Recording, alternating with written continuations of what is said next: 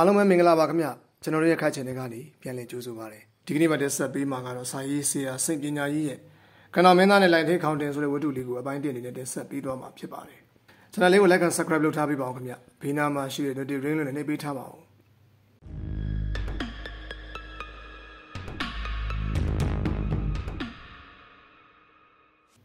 မျက်ရည်နဲ့စားခဲ့တဲ့လိုင်ထိထားရဲ့ဘဝချစ်သမျှကိုမြင့်မို့ရွှေတောင်လုံးတာပါလီဆိုတဲ့ တာယာညင်ကြောင်းလာတဲ့တချင်းတိုင်ရဲ့အဆုံးမှာတော့လှမင်းသမီးကလေးကမဲတော်မတ်မြကလေးရဲ့လက်မောင်းကိုကိုင်းပြီးကနွေကရပြောလိုက်ပါတယ်။နားစင်လို့ကောင်းလိုက်တာမမေကြီးဒီတချင်းလေးလည်းတင်းတင်းကိုသင်ပေးရမယ်နော်။သင်ပေးမှာပါသမီးရဲ့။ကြပြဂီတကလူတွေရဲ့နှလုံးသားကိုသိမ့်မွေးစေတယ်။ရင်းရင်တီးကြီးစေတယ်။ဂီတနဲ့ပတ်သက်ပြီးတင်းတင်းကိုအများကြီးသင်ပေးရအောင်မယ်။ဒီအခိုင်တက်လေးမှာပဲအနောက်နန်းတော်ကိုမျိုးဝင်မင်းနဲ့အနောက်ဝင်မင်းတို့ရောက်လာကြတယ်။သူတို့နဲ့အတူလူတကြီးကန်လည်းပါလာပါတယ်။ဝင်မင်းတို့ကိုမြင်လိုက်ရတာနဲ့ပဲအခုလာခြင်းက ခေါင်းတော်လာခြင်းမဟုတ်တာကိုအနောက်နန်းမိဖုရားမမြကလေးသိလိုက်ပြီဘလို့အရေးကိစ္စများပါလိမ့်မမြကလေးကမိခင်ဒေါ်ဤကိုမသိမသာပြန်ကြည့်မိတယ်ဒေါ်ဤကလည်းစူးစမ်းတဲ့အကြည့်နဲ့မမြလေးကိုပြန်ကြည့်တယ်စောစောကဒီတဲ့ချင်းနဲ့စကားတန်နေတဲ့ဝေစီနေတဲ့ခမ်းမဆောင်ထဲမှာချက်ချင်းပဲတိတ်ဆိတ်သွားတယ်မြို့မင်းရဲ့အတန်ကတိတ်ဆိတ်မှုကိုချိုးဖောက်လိုက်တယ်နာခံကြစီအမိန်တော်ဒါတော့ပြည်မင်းသားမသိမလျော်ကြမ်းစီရမှာဖောက်ပြပါဝင်သူမိဖုရားမမြကလေးနဲ့၎င်း၏အမိမဲဤတို့ကိုသွားမြင်လန်သွားကြစီအမိန်တိုင်းအဆုံးမှာတော့ဒေါ်ဤက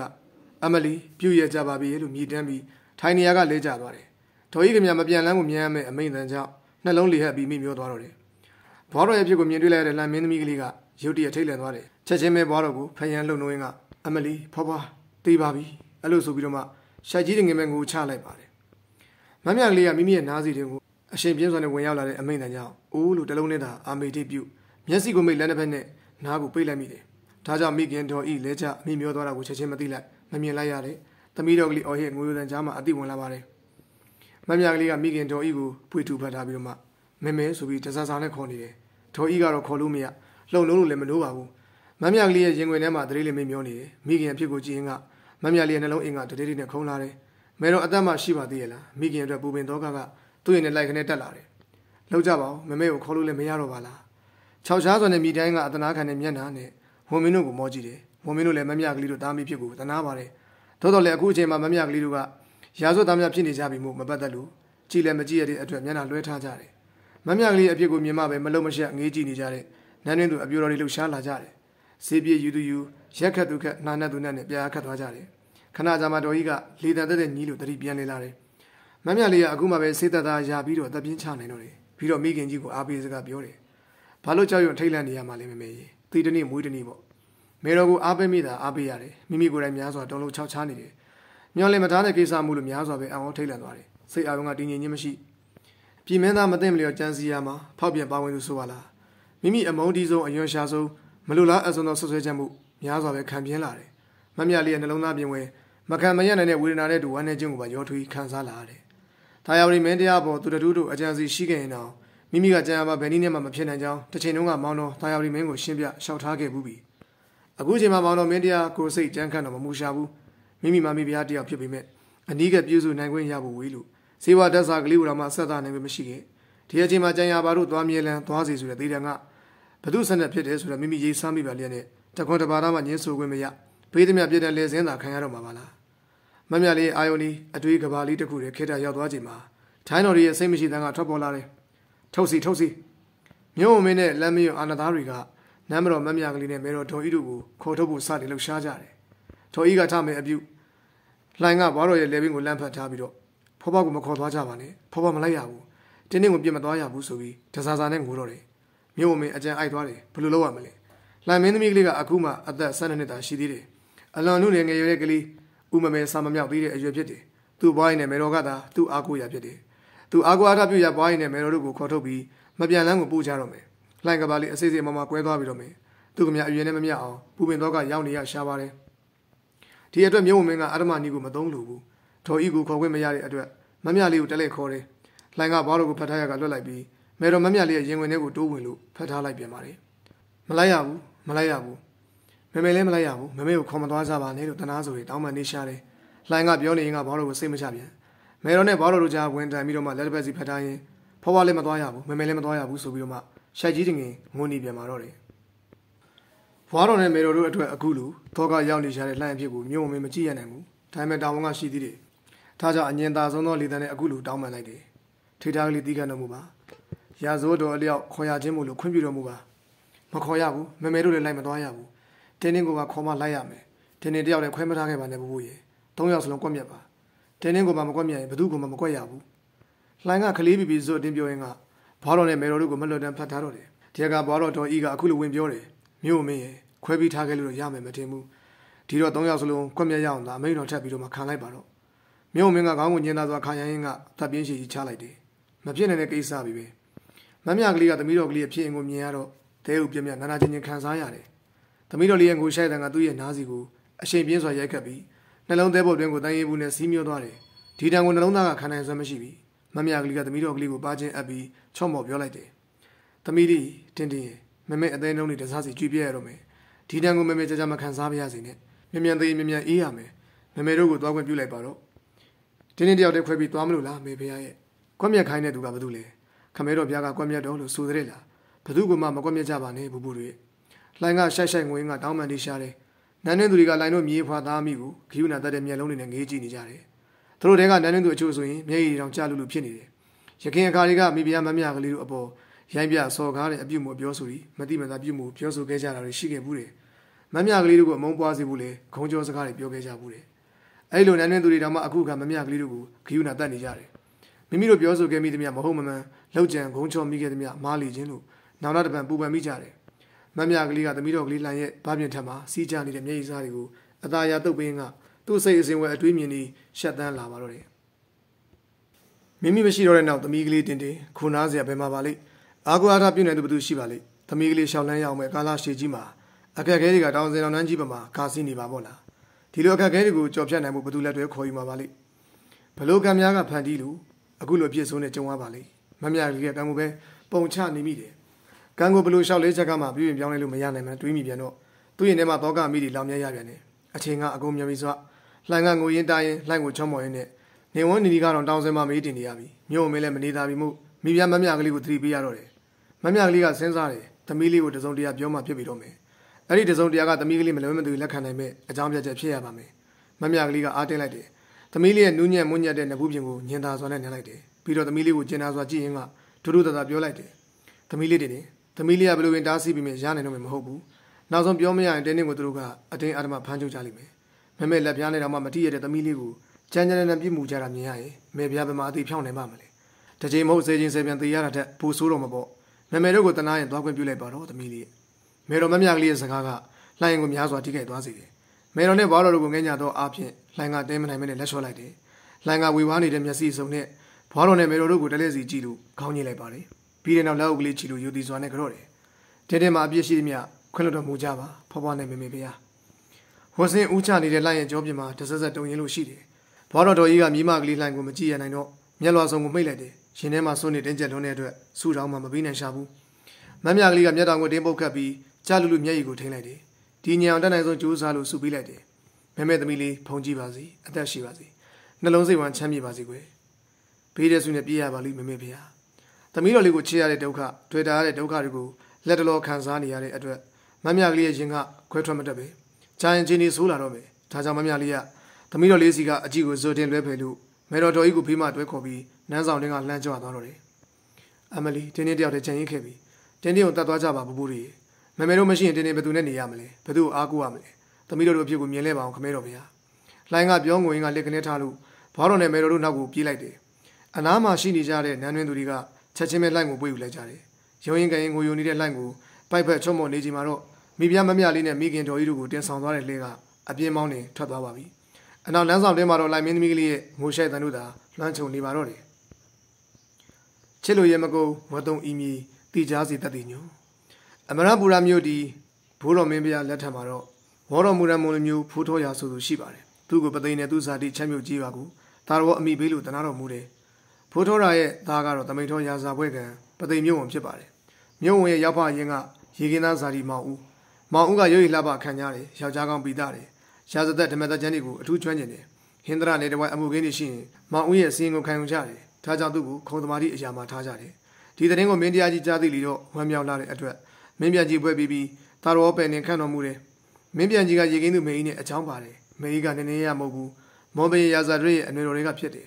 မင်းပြန်ကြီးနဲ့မေကြီးတို့ကဟင်းသရမြို့ကိုပြောင်းရွှေ့လာကြတယ်သူတို့မှမမြကျိုးဆိုတဲ့သမီးကလေးကိုမြန်မာတပ်ကလေး1182ခုနှစ်တရင်ကျော်လာပြကျော်နှစ်ရက် တနင်္လာနေ့နေတဲ့ချိန်မှာဖွားမြင်တယ်မမြကျိုးကလေးကလွန်စွာမှချုံမောလှပပါတယ်အသားရည်ကရွှေရောင်ဝင်းပြီးတော့မှပြန်ညွေးတန်းနေတော့စိမ်းညွန်တန်းနဲ့ဗရပိုက်ခေါရွှေလာထူးကြတဲ့အသားရည်ရှိတယ်ဒါကြောင့်မမြကျိုးလို့မဲ့ခေါ်တယ်မျက်လုံးမျက်ကုံနှာရံကအစရှူမကြီးအောင်လှပါတယ်မမြကျုပ်ကလေးလာလုံးချစ်စရာကောင်းလုံးတဲ့အတွက်အင်းဒီပါကြီးတွေကမြတ်များလို့ချစ်စလို့ခေါ်ကြတယ်အရွယ်ရောက်လာတဲ့ကကိုလုံးကိုတွေကပါအလားထဆင်ပြန်လာကြမှုလို့ရှုမြင်သူတွေအသက်ရှူမအောင်မယ်လှပချုံးမွေလာပါတယ်ဒါကြောင့်ရွာနီးချုပ်ဆက်မှာမမြကျုပ်ရဲ့အလှကုန်သတင်းက ပုံမိုပြီးတော့မှပြန့်နှံ့ကြော်ကြားလာတော့တယ်မမြကျုပ်ကအလှကျက်သည်တင်ဖြိုးဝေဒီလာမကပညာဉာဏ်လည်းထက်မြက်လာတယ်သူဖခင်မင်းပြန်ကြီးဖက်ရှုလေးလာတဲ့ရှားစသက်ဓမ္မသက်ပြုတ်ကြပြလင်္ကာစတာလေးလည်းမပြတ်လေးလာတယ်ဒီတော့အရွယ်နဲ့မလာအောင်ထူးခြားတဲ့ဂုံသတင်းကလူတိုင်းရဲ့ပါဇက်ပြားမှာရေပန်းစားလာတယ်။ဘာကြီးတော့စကိုင်းမဲလက်ထက်မှာပထမအင်္ဂလိပ်ကျူးကျော်စစ်ကြောင်းတာယာရီမျိုးစားမင်းသားကအောက်ပြည်ကိုစုံစင်းလို့အင်္ဂလိပ်တို့နဲ့စစ်ပြန်ရတယ်။စစ်မှာအောင်နိုင်မှုမရမြန်မာနိုင်ငံရဲ့ရခိုင်ကမ်းမြောင်ဒေသနဲ့တနင်္သာရီကမ်းမြောင်ဒေသတို့ကိုအင်္ဂလိပ်တို့ကိုပေးလိုက်ရတယ်။စီးရဲစီယာတွေပြီးစီးပြီးဖြစ်ပြီးမဲ့ တာယာရီမင်းသားကနေပြီးတော့ကိုရုတ်တရက်မပြန်သေးဘူး။ပသိမ်မျိုးကိုစုံစင်းလို့အပန်းတော်ဖြည့်တယ်။အဲဒီကအပြင်စစ်အတွင်းကမိမိတက်တွေနဲ့စီးစိုးခုခံခဲ့တဲ့တနုပြည်မျိုးမှာရက်ကာလအတန်းကြာဆန်းနေတော်မူတယ်။ဒီအချိန်မှာမင်းပြန်ကြီးကိုဦးနဲ့မေကြီးတို့ရဲ့သမီးမမြကျုပ်ချောမောလှပကြောင်သတင်းကောင်းကဒါယောရီမင်းသားရဲ့ရွှေနာတော်ကိုပေါက်ကြားသွားတယ်အဲဒီကမင်းသားကမမြကျုပ်ပေါ်ရွှေမြစ်တာတော်တင်းညတော်မူတာနဲ့အိမ်တော်ဝန်နေမျိုးဖန်တို့ကျော်စရီတော်ကြီးတေဟကျော်တင်တော်ရတာအတွင်းဝန်နေမျိုးတရားစီသူတို့ကိုနောက်ပါအမှုထမ်းများအဆောင်အပစ္စည်းများနဲ့ဆေလွတ်တယ်အိမ်တော်ဝန်နဲ့အမှုထမ်းဖွဲ့က ဟင်္ဒရတကြီးဦးရွှေလူနဲ့အတူမင်းမြကြီးအိမ်ကိုသွားလို့လာရင်ကိစ္စကိုပြောကြတယ်ဘင်းညီတော်တစ်ပါးကသမီးကလေးမမြကျုပ်ကိုကောက်ယူတော်မူမှာဖြစ်လို့အမင်းတော်ကိုသွေးပြီးဖို့မဝန့်ဒီလိုနဲ့လက်ခံသဘောတူလဲကြတယ်အဲဒီတော့ကမမြကျုပ်ရဲ့အသက်က16နှစ်အလားသွေးကျွဲခြင်းဖြစ်တယ်။ဒါရောမင်းသားကမမြကျုပ်ကိုချစ်မြတ်နူးလာတဲ့အတွက်မြကလေးလို့ယူရစွာခေါ်တယ်။မမြကလေးကိုရွှေလောင်းတိုက်ကိုတနာတော်မူတဲ့အတွက်ရွှေလောင်းတိုက်သခင်မမြကလေးလို့စတင်ထင်ရှားလာပါတယ်။ဒါရောမင်းသားနဲ့မမြကလေးတို့ချစ်ထုံခင်တုံပြုံးပြောကြည်နူးချိန်မြန်မာတပ်ကလေး1995ခုနှစ် ခရစ်နှစ်1833မှာသမီးကလေးတယောက်ဖွားမြင်တယ်။သူကမေတော်မမြကလေးရဲ့ခြေရာကိုနင်းမဲ့မက်ဖွားကိုမဖွားကြည့်ပါ။နေပြီးတော့မှဘာကြီးတော်စကိုင်းမင်းကရင်နဘူစာချုပ်ချုပ်ပြီးတဲ့နောက်ပိုင်းကစပြီးနာကြီးမှုနဲ့အတူစိတ်တကြဆင်းမှုကဖြစ်နေတယ်။ဒါကြောင့်နိုင်ငံအရေးတွေကိုဆောင်ရွက်ရမှာအမတ်နဲ့နီးကပ်ဖို့တွေးတော်ကြံစားခြင်းမပြုနိုင်ဘူးစိတ်သက်ရေးရရကောင်းစွာနာမကျန်းဖြစ်နေတဲ့အားနည်းချက်ကိုအခွင့်ကောင်းယူပြီးတော့မှနမ်မတော်မယ်နုနဲ့မောင်ဖြစ်သူစလင်းမင်းသားကြီးဦးတို့ကရရှိတဲ့အာဏာကိုအဆန်းကုန်သုံးချနေတယ်သူတို့ကိုမနစ်သက်သူလက်မခံသူတွေကအဲ့ဒီအချိန်ကရေပန်းစားနေတဲ့တာယော်ရီမင်းသားရဲ့ ဘတ်တော်သားတွေဖြစ်လာကြတယ်စလင်းမင်းသားဦးကတာယော်ရီမင်းသားရဲ့အန်ဒီယကိုစိုးရင်လာတယ်ဒါကြောင့်ချုံနေနိုင်မဲ့အခွင့်ကောင်းကိုရှာဖွေစောင့်စားနေပါတယ်မကြခင်မှာပဲချင်းဒီတရက်ကိုတွေ့တယ်ငစင်းုံမျိုးတကြီးငရေးရဲ့ကိစ္စငရေးကတတိရှိတယ်စိတ်သက်ခိုင်းပါတယ်တိုက်ရီခိုက်ရီရှိပါတယ်တာဝရီမင်းသားရဲ့တိတ်တဆိတ်လေ့ကျင့်ထားသူတွေရဲ့ခေါင်းဆောင်လည်းဖြစ်ပါတယ်သူကတာဝရီမင်းသားရဲ့နှမတော်ဖကံမင်းသမီးရဲ့ဝန်စည်းလည်းဖြစ်တယ်ဖကံမင်းသမီးနဲ့တာဝရီမင်းသားတို့ကတကြိတ်တဲ့ညံတဲ့တခိုင်းနဲ့ဖြစ်တယ်မပြတ်ဆွေးနွေးတိုင်ပင်လေးရှိကြတယ်ဒါတွေကိုရေးစားမိတဲ့ဆလင်းမင်းသားကြီးက ဘာကြီးတော်မင်းရဲ့သဘောတူညီချက်ကိုရယူလို့ငရေးကိုဖမ်းဖို့ကြိုးစားတယ်ဖကံမင်းသမီးရဲ့အိမ်ကိုဆလင်းမင်းသားကြီးရဲ့လူတွေကဝိုင်းပြီးငရေးကိုတောင်းပါတယ်ဖကံမင်းသမီးနဲ့သူ့ရဲ့ဝန်စည်းတို့လည်းတာဝရီမင်းသားအိမ်ကိုထွက်ပြီးခိုးလုံကြတယ်ဒီလိုနဲ့တာဝရီမင်းသားအိမ်ကိုသွားပြီးငရေးကိုထုတ်ပြီးဖို့တောင်းဆိုပြန်တယ်ဒါပေမဲ့မင်းသားကမရှိကြောင်းညင်းဆိုတယ်အဲဒီကမှမင်းသားရဲ့ထိတ်တန့်အရာရှိတွေဘကမင်းသမီးရဲ့ထိတ်တန့်အရာရှိတွေကိုဖမ်းဆီးပြီးအကျဉ်းချလိုက်ကြတယ်မကြခင်မှာဒါပေမဲ့မင်းသားရဲ့အိမ်တော်ကိုစစ်တီတော်တွေအတင်းဝင်ရောက်ရှာဖွေဖို့ဆဲလွတ်လိုက်တယ် မင်းသားရဲ့အိမ်တော်အတွင်းမှာတိုက်ပွဲငယ်ဖြစ်ပြီးတော့မှဆလင်းမင်းသားကြီးဘက်ကဆုတ်ခွာသွားတဲ့တာယော်ရီမင်းသားလည်းသူ့ရဲ့အိမ်သားတွေတပည့်တပန်းတွေကိုခေါ်လို့အေယာရီမြစ်တစ်ဘက်ကစကိုင်းဝင်ညာရင်းချင်းကူးသွားပါတယ်စကိုင်းကတဆင့်ရွှေဘုတ်ကိုထွက်ခွာသွားတယ်ဒီနေ့ရရှိဖို့အတွက်ဆက်လက်ကြိုးပမ်းတယ်ဒီလိုနဲ့အင်းဝနေပြီးတော့ကိုလွယ်ကူစွာနဲ့သိမ့်ပိုင်နိုင်ပါတယ်1839ခုနှစ်ဧပြီလ30ရက်နေ့မှာသာယာရီမင်းနန်းတက်ကြောင်ကြီးညာလိုက်တယ်။သာယာရီမင်းကအင်းဝါရှိနောင်တော်ပြင်ဘာကြီးတော်ကိုပုံကန်လို့အောင်မြင်ရတာကြောင့်အင်းဝါမြို့မှာမနေလိုဘူး။မိမိအောင်မြင်မှုရရှိခဲ့တဲ့ရွှေဘူမြို့ကိုမင်းနေပြီးတော့ပြုလုပ်လို့တယ်။ သို့တော်လည်းရွှေဘူကမင်းနေပြီးတော့လှုပ်လောက်အောင်အကွက်အကွဲမကျပြီးတော့လမ်းမဆက်သွေးမှာအဓိကကြားတဲ့အေယာဝရီမြင့်နယ်လည်းဝေးနေတယ်။ဒါကြောင့်ရွှေဘူကိုမင်းနေပြီးတော့လှုပ်ဖို့အကြံကိုလက်လျှော့လိုက်ပါတယ်။တခါကြောင်မြို့ကိုမြို့သေးလှုပ်ဖို့အတွက်6လကြာစစ်စစ်မင်းမြတ်နယ်မုံမှန်ပြင်ဆင်ကြည့်တယ်။မြို့တော်လှုပ်ဖို့မနေ့သက်ပြန်မှုနောက်ဆုံးမှဘိုးတော်ပြရဲ့မြို့တော်အောင်ဖြစ်တဲ့အမရပူရမြို့ကိုပဲအသစ်ပြန်လေတိဆောက်တယ်။ဘီးစီရာနဲ့အင်းဝါကအမရပူရမြို့တော်ကိုပြောင်းရွှေ့ဆန်းတော်မူတယ်။မြို့တော်ကိုအခုလိုပြောင်းရွှေ့တဲ့အတွက်ဒါရောက်လိမင်းဖို့စိတ်ချမ်းသာသွားတယ်။သို့တော်တိုင်းပြည်ရဲ့အခြေအနေကတိုးတက်လာခြင်းမရှိဘူး။မြို့တော်တွေကိုပြည့်ပြည့်တိဆောက်ရတဲ့အတွက် ပြည်သူလူအပေါင်းတို့အချိန်ကုန်လူပင်ပန်းကြရတယ်။ငွေကြီးအကုန်ကြများခြင်းသာဖတ်တယ်။ဒါရောက်လိမင်းဗိသိက်ခံတဲ့အခါမမြကလေးကိုအနောက်နှမ်းပေးတယ်။အဲ့ဒီချိန်ကစပြီးအနောက်နှမ်းမိပြာမမြကလေးလို့ကြော်ကြားလာတယ်။ဒါအပြင်ဟင်္ဒရာမျိုးစားပြထက်မှန်ချီးမြှင့်တယ်။တစ်ချိန်တည်းမှာပဲသမီးကလေးမဖွားကြီးကိုလည်းလှိုင်မြို့ကိုစားစီတယ်အဲ့ဒီကမှမဖွားကြီးကလှိုင်မင်းသမီးဟူရီ၎င်းလှိုင်ထိတ်ကောင်းတဲ့ဟူရီ၎င်းအမိတွင်လာတယ်သို့တော်လည်းတင်တင်လို့ချစ်စလို့ခေါ်လေးရှိကြတယ်ဒီတုန်းကလှိုင်အသက်က၄နှစ်သာရှိပါသေးတယ်ဒါရော်ဒီမင်းကမိဖုရားကောင်းကြီးကလွှဲရင်တခြားသောမိဖုရားတွေထက်မမြကလေးကိုအခွင့်အရေးပေးတယ် မင်းကြီးစိတ်တော်မကြည်မသာဖြစ်တဲ့အခါတွေမှာမမြကလေးကဒီသရှင်တွေတီကုန်းရေးဆက်ပြီးအတီးမုတ်တွေနဲ့ရွှေနေတော်သွင်းစေပါတယ်။တခါတည်းမမြကလေးကကိုယ်တိုင်တီးဆူဖြောပြပါတယ်။ဇီဝဇနာအတန်တာလာတဲ့အတွက်မင်းကြီးကများစွာနှစ်သက်ကြည်နေတယ်။မမြကလေးကစာပေဂီတမှာလည်းထူးချွန်ရုပ်ရည်ကလည်းလှပတင့်တယ်စိတ်ဓာတ်ကလည်းဖြူစင်ဖြောင့်မဲ့သူမှုဒါရော်ရီမင်းကအထူးချင်းမြတ်နိုးတော်မူတယ်။ဒါကြောင့်လည်းအနောင်နှမ်းမိပြမမြကလေးရဲ့အဆောင်တော်မှာစံပြောခြင်းကပုံမှုများပြားလာတယ်။ဒီတော့မမြကလေးနဲ့လိုင်မင်းသမီးကလေးတွေဘဝကပျော်ရွှင်ချမ်းမြေ့ဖွယ်အတီးဖြစ်ခဲ့ပါတယ်။ဘန်းခင်းနဲ့လဲလို့တာယာဖြောင့်မြူးခဲ့ပါတယ်။ မမြကလေးကတာယာချမ်းမြေ့တဲ့ဘဝကမတည်မြဲခဲ့ဘူး။ချင်းရရှိကြလာတဲ့ခါတာယာရီမင်းကတခြားသောမိဖုရားငယ်ဒီအဆောင်ကိုခြေဦးလှည့်နေတော့မိဖုရားမမြကလေးကိုမိထားပြန်တယ်။မမြကလေးကဂျာဂျီယန်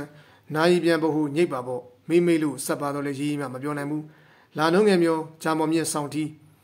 ရှေဘောတော်တညံပွေလို့မလာနေတာရှည်လာတာကြောင့်တွေးရခက်ကြီးဖြစ်နေရှာတယ်။မောင်တော်မရောက်လာတာကဘယ်လောက်ကြာသွားပြီလဲ။ဆောင်းမပွင့်တဲ့သစင်တွေလည်းပွင့်ခဲ့ပြီးပြီ။ဆောင်းကုန်တွေဘူးမှပွင့်တဲ့ခရားပန်းတွေလည်းပွင့်ပြီးပြီ။ မောင်တော်အရေးရောင်ကတော့မှမမြင်ရဘူး။နွေရာသီမှာပွင့်တဲ့စကွာပန်းတွေလည်းပွင့်ပြီးကြပြီ။နွေကနေမိုးကူကူးခဲ့ပြီ။စပယ်တွေလည်းပိုးပွေးလို့ပွင့်ခဲ့ပြန်ပြီ။အခုဆိုရင်တရပီပေါင်းမုံလေးတွေကလေပြည့်အသွေးမှာမွေးရင်းနဲ့တွေကျွဲလို့ဒီလိုလေပြည့်လေညင်းကလေးဝေးဝေးဝဲဝဲနဲ့ညင်းသွဲသွဲတိုက်ခတ်နေချိန်မှာနမတော်ကအုံးရွှေသင်းစား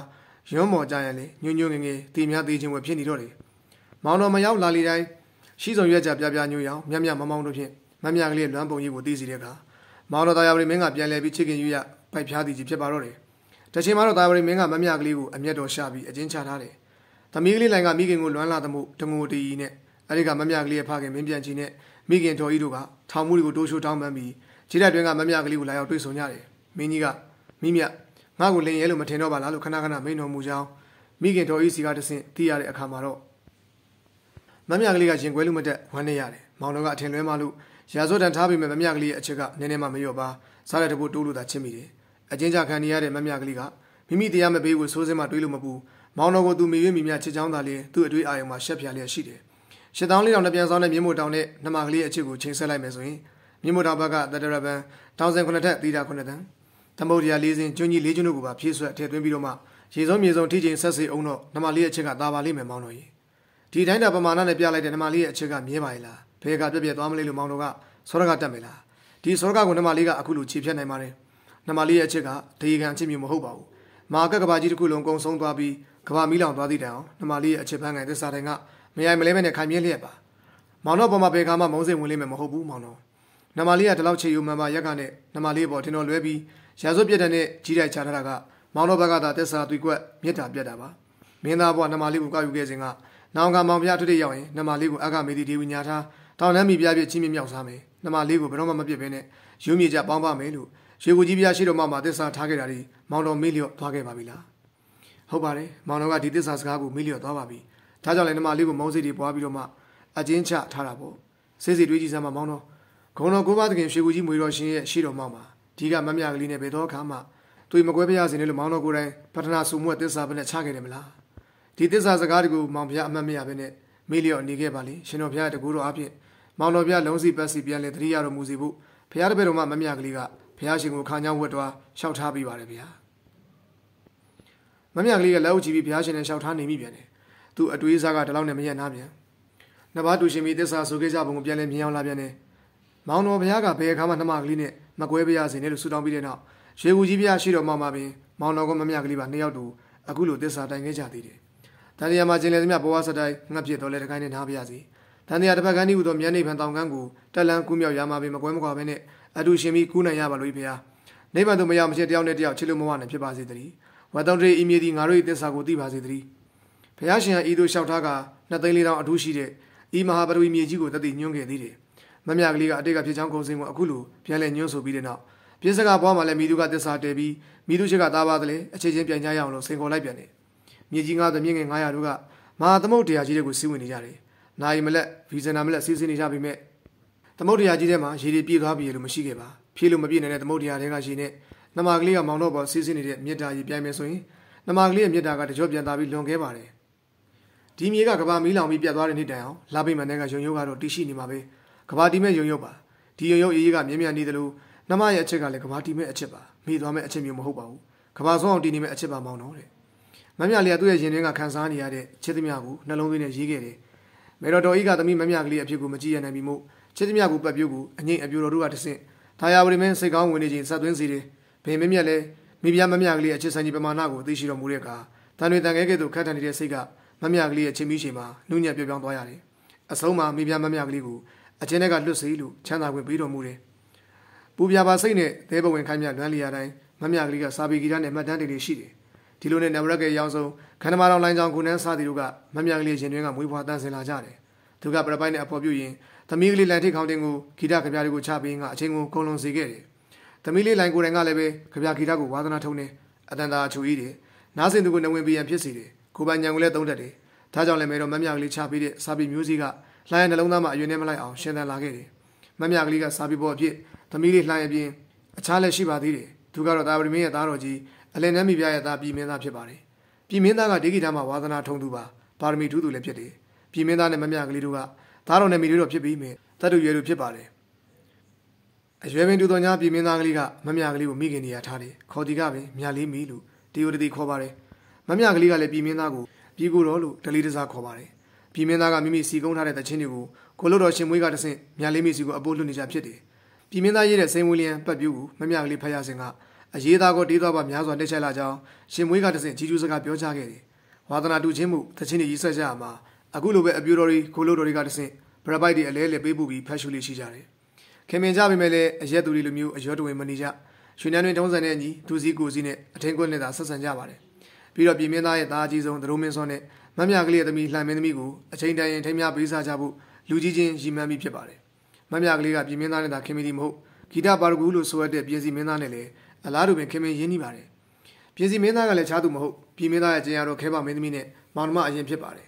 ဒါကြောင့်စာပေဂီတဝါသနာချင်းတူဖြစ်တဲ့မမြကလေးတွေဆက်ဆံရေးကစာပေသားမိစာပေမောင်နှမအဆင့်သာဖြစ်တယ်သို့တော်လည်းတာယာပရိမင်းရဲ့ချင်းမြတ်လို့ခြင်းကိုခံရတဲ့မမြကလေးကဒုဘွားချင်းတွေကိုအမှန်အတိုင်းရှုမြင်သုံးသပ်နိုင်ခြင်းမရှိဘူးပရိသရိခေရဲ့ကန္နာသပင်နဲ့တူတဲ့အခြေအနေကိုသဘောပေါက်နိုင်စွမ်းမရှိပါဘူးနန်းရင်းအခြေအနေတွေရှုပ်ထွေးလာတာကိုဂရုမထားဘဲနဲ့ခင်မင်းရင်းဆွဲဖြစ်တဲ့ပြည်မင်းသားနဲ့ဆက်နွယ်မှုကိုရက်ဆိုင်ခြင်းမပြုဘဲနေမိတယ်တကြောင်ကလည်းမမြလေးကတာယာပရိမင်းရဲ့အခြေကိုယုံစားတယ်ပရိသရိအတိုင်းဝိုင်းမှာတူဘောတူတွန်းတိုင်မှုဂုံချုံမှုတွေရှိတာကိုကြားနေရပေမဲ့ အာမနာပါစကားတရားမဲ့တွေသဘောပိုက်တယ်ဒါကြောင့်ကိုကောင်းခေါင်းပင်မြည်ဆိုတဲ့စကားကိုလက်ကင်ထားလို့ပြည်မင်းသားတိုင်းဝမ်းနဲ့ဆက်ဆံပြဆက်ဆံလေးရရှိနေပါတော့တယ်။မရွေးတဲ့တစ္ဆာပြေပါဘူးမောင်ဗျာ။ဒါရောင်ဒီမင်းမှာဆန္ဒတရဖြစ်ပေါ်လာတယ်။အဲဒီဆန္ဒကတော့မိမိလက်ထက်တော်မှာအဓိကရဘုရားတဆူတိဆောက်ကုသိုလ်ပြုလုပ်ခြင်းဖြစ်တယ်။ဒီလိုနဲ့ရှင်မျိုးတော်ရှင်မျက်နှာဆောင်းကလောကန်ထိတ်မှာဇေတီဖို့သတ်မှတ်လိုက်ပါတယ်။ဇေတီမဲ့နေရာမှာမှတ်တိုင်စိုက်ပြီးတော့မှအဆောင်နေခံထားတယ်။မှတ်တိုင်စိုက်ပြီး၄ရက်လောက်အကြာညတကောင်ချိန်အတွက်စိုက်ထားတဲ့ မှတ်တိုင်ကပုတ်လုံးကန်ကြီးမားတဲ့ဥက္ကလုံးတရံကခေါင်းငယ်ထက်ကိုပြန်တက်သွားတယ်လို့ဆိုပါတယ်။မင်းကြီးကပညာရှိတွေကိုမေးတော့မြတ်တော်အညွန့်တိုင်အောင်သာသနာ9000တရံနမိတ်ဖြစ်ကြောင်းပြန်လည်လျှောက်ထားကြတယ်။မင်းကြီးကယခုလိုကောင်းမှုပြုရမှာမိမိနဲ့ဘဝရည်ဆက်ဆုံသူတွေထက်ကအမျက်နှိုးဆုံးမျိုးသမီး၄ဦးကိုလည်းသူနဲ့အတူကောင်းမှုပြုစေလိုတယ်။ကံထုသူတွေကမိပြကောင်ကြီးကြာပင်မင်းသမီးသမီးတော်ဆက်ကြဒေဝီမင်းသမီးအနောက်နမ်းမိဖုရားမမြလေးနဲ့ဝေသာလေးမိဖုရားတို့ဖြစ်ကြတယ်။ဝေသာလေးမင်းကသူ့နှမတော်ကိုတာယာဝတီမင်းကိုဆက်သားခဲ့တော့ရတနာဒေဝီပွဲနဲ့ ဗမော်မြို့ကိုစားစီခဲ့တယ်။တာယာဝတီမင်းကမြန်မာမိဖုရားတွေနဲ့သမီးတော်တို့ကိုရွေးချယ်ပြီးတဲ့နောက်မှာတော့ရတနာဒေဝီပွဲလည်းမမိတ်မလျော့တူညီတဲ့အခွင့်အရေးပေးခဲ့တာဖြစ်ပါတယ်။တက္ကရာ1200ပြည့်နှစ်ခရစ်နှစ်1838မှာတော့အမရပူရမြို့မှာနန်းသစ်ဒီကြီးမှာဇေတော်ကြီးကိုရွှေအုပ်မြစ်ချခဲ့ပါတယ်။အလဲဘုံမှာတာယာဝတီမင်းရဲ့ဇေတော်ကြီးအရှိတောင်ထောင်မှာမိပြကောင်ကြီးချပင်းမင်းသမီးရဲ့ဇေတော်အရှိမြောက်ထောင်မှာတော့သမီးတော်ဆက်ကြဒေဝီရဲ့ဇေတော်အနောက်မြောက်ထောင်မှာအနောက်နန်းမိပြမမြလေးရဲ့ဇေတော်အနောက်တောင်ထောင်မှာဝေသာလီမိပြရဲ့ဇေတော်တို့ကိုတီထားစေတယ်။ ဒီဇေတော်တို့ကိုတပြလောက်ပတ်လေမဟာယန်တိုင်းကာယံထားတယ်။တိုင်းလေးတော့မှာတရေကိုအုတ်တိုက်ကလေး၄ခုထပ်ဆင့်တီထားပါတယ်။အတွင်းအုတ်တိုင်းကိုမိပြီးတော့မှပတ်လေမှာဇင်းကြံလန်းကိုအခိုင်အမာတီဆောက်တယ်။ဇေတော်ကြီးကိုတီဆောက်နေစဉ်မှာပဲမြန်မာတက္ကရာ1903ခုနှစ်1841အောက်တိုဘာမှာတော့တာဝရီမင်းကဥ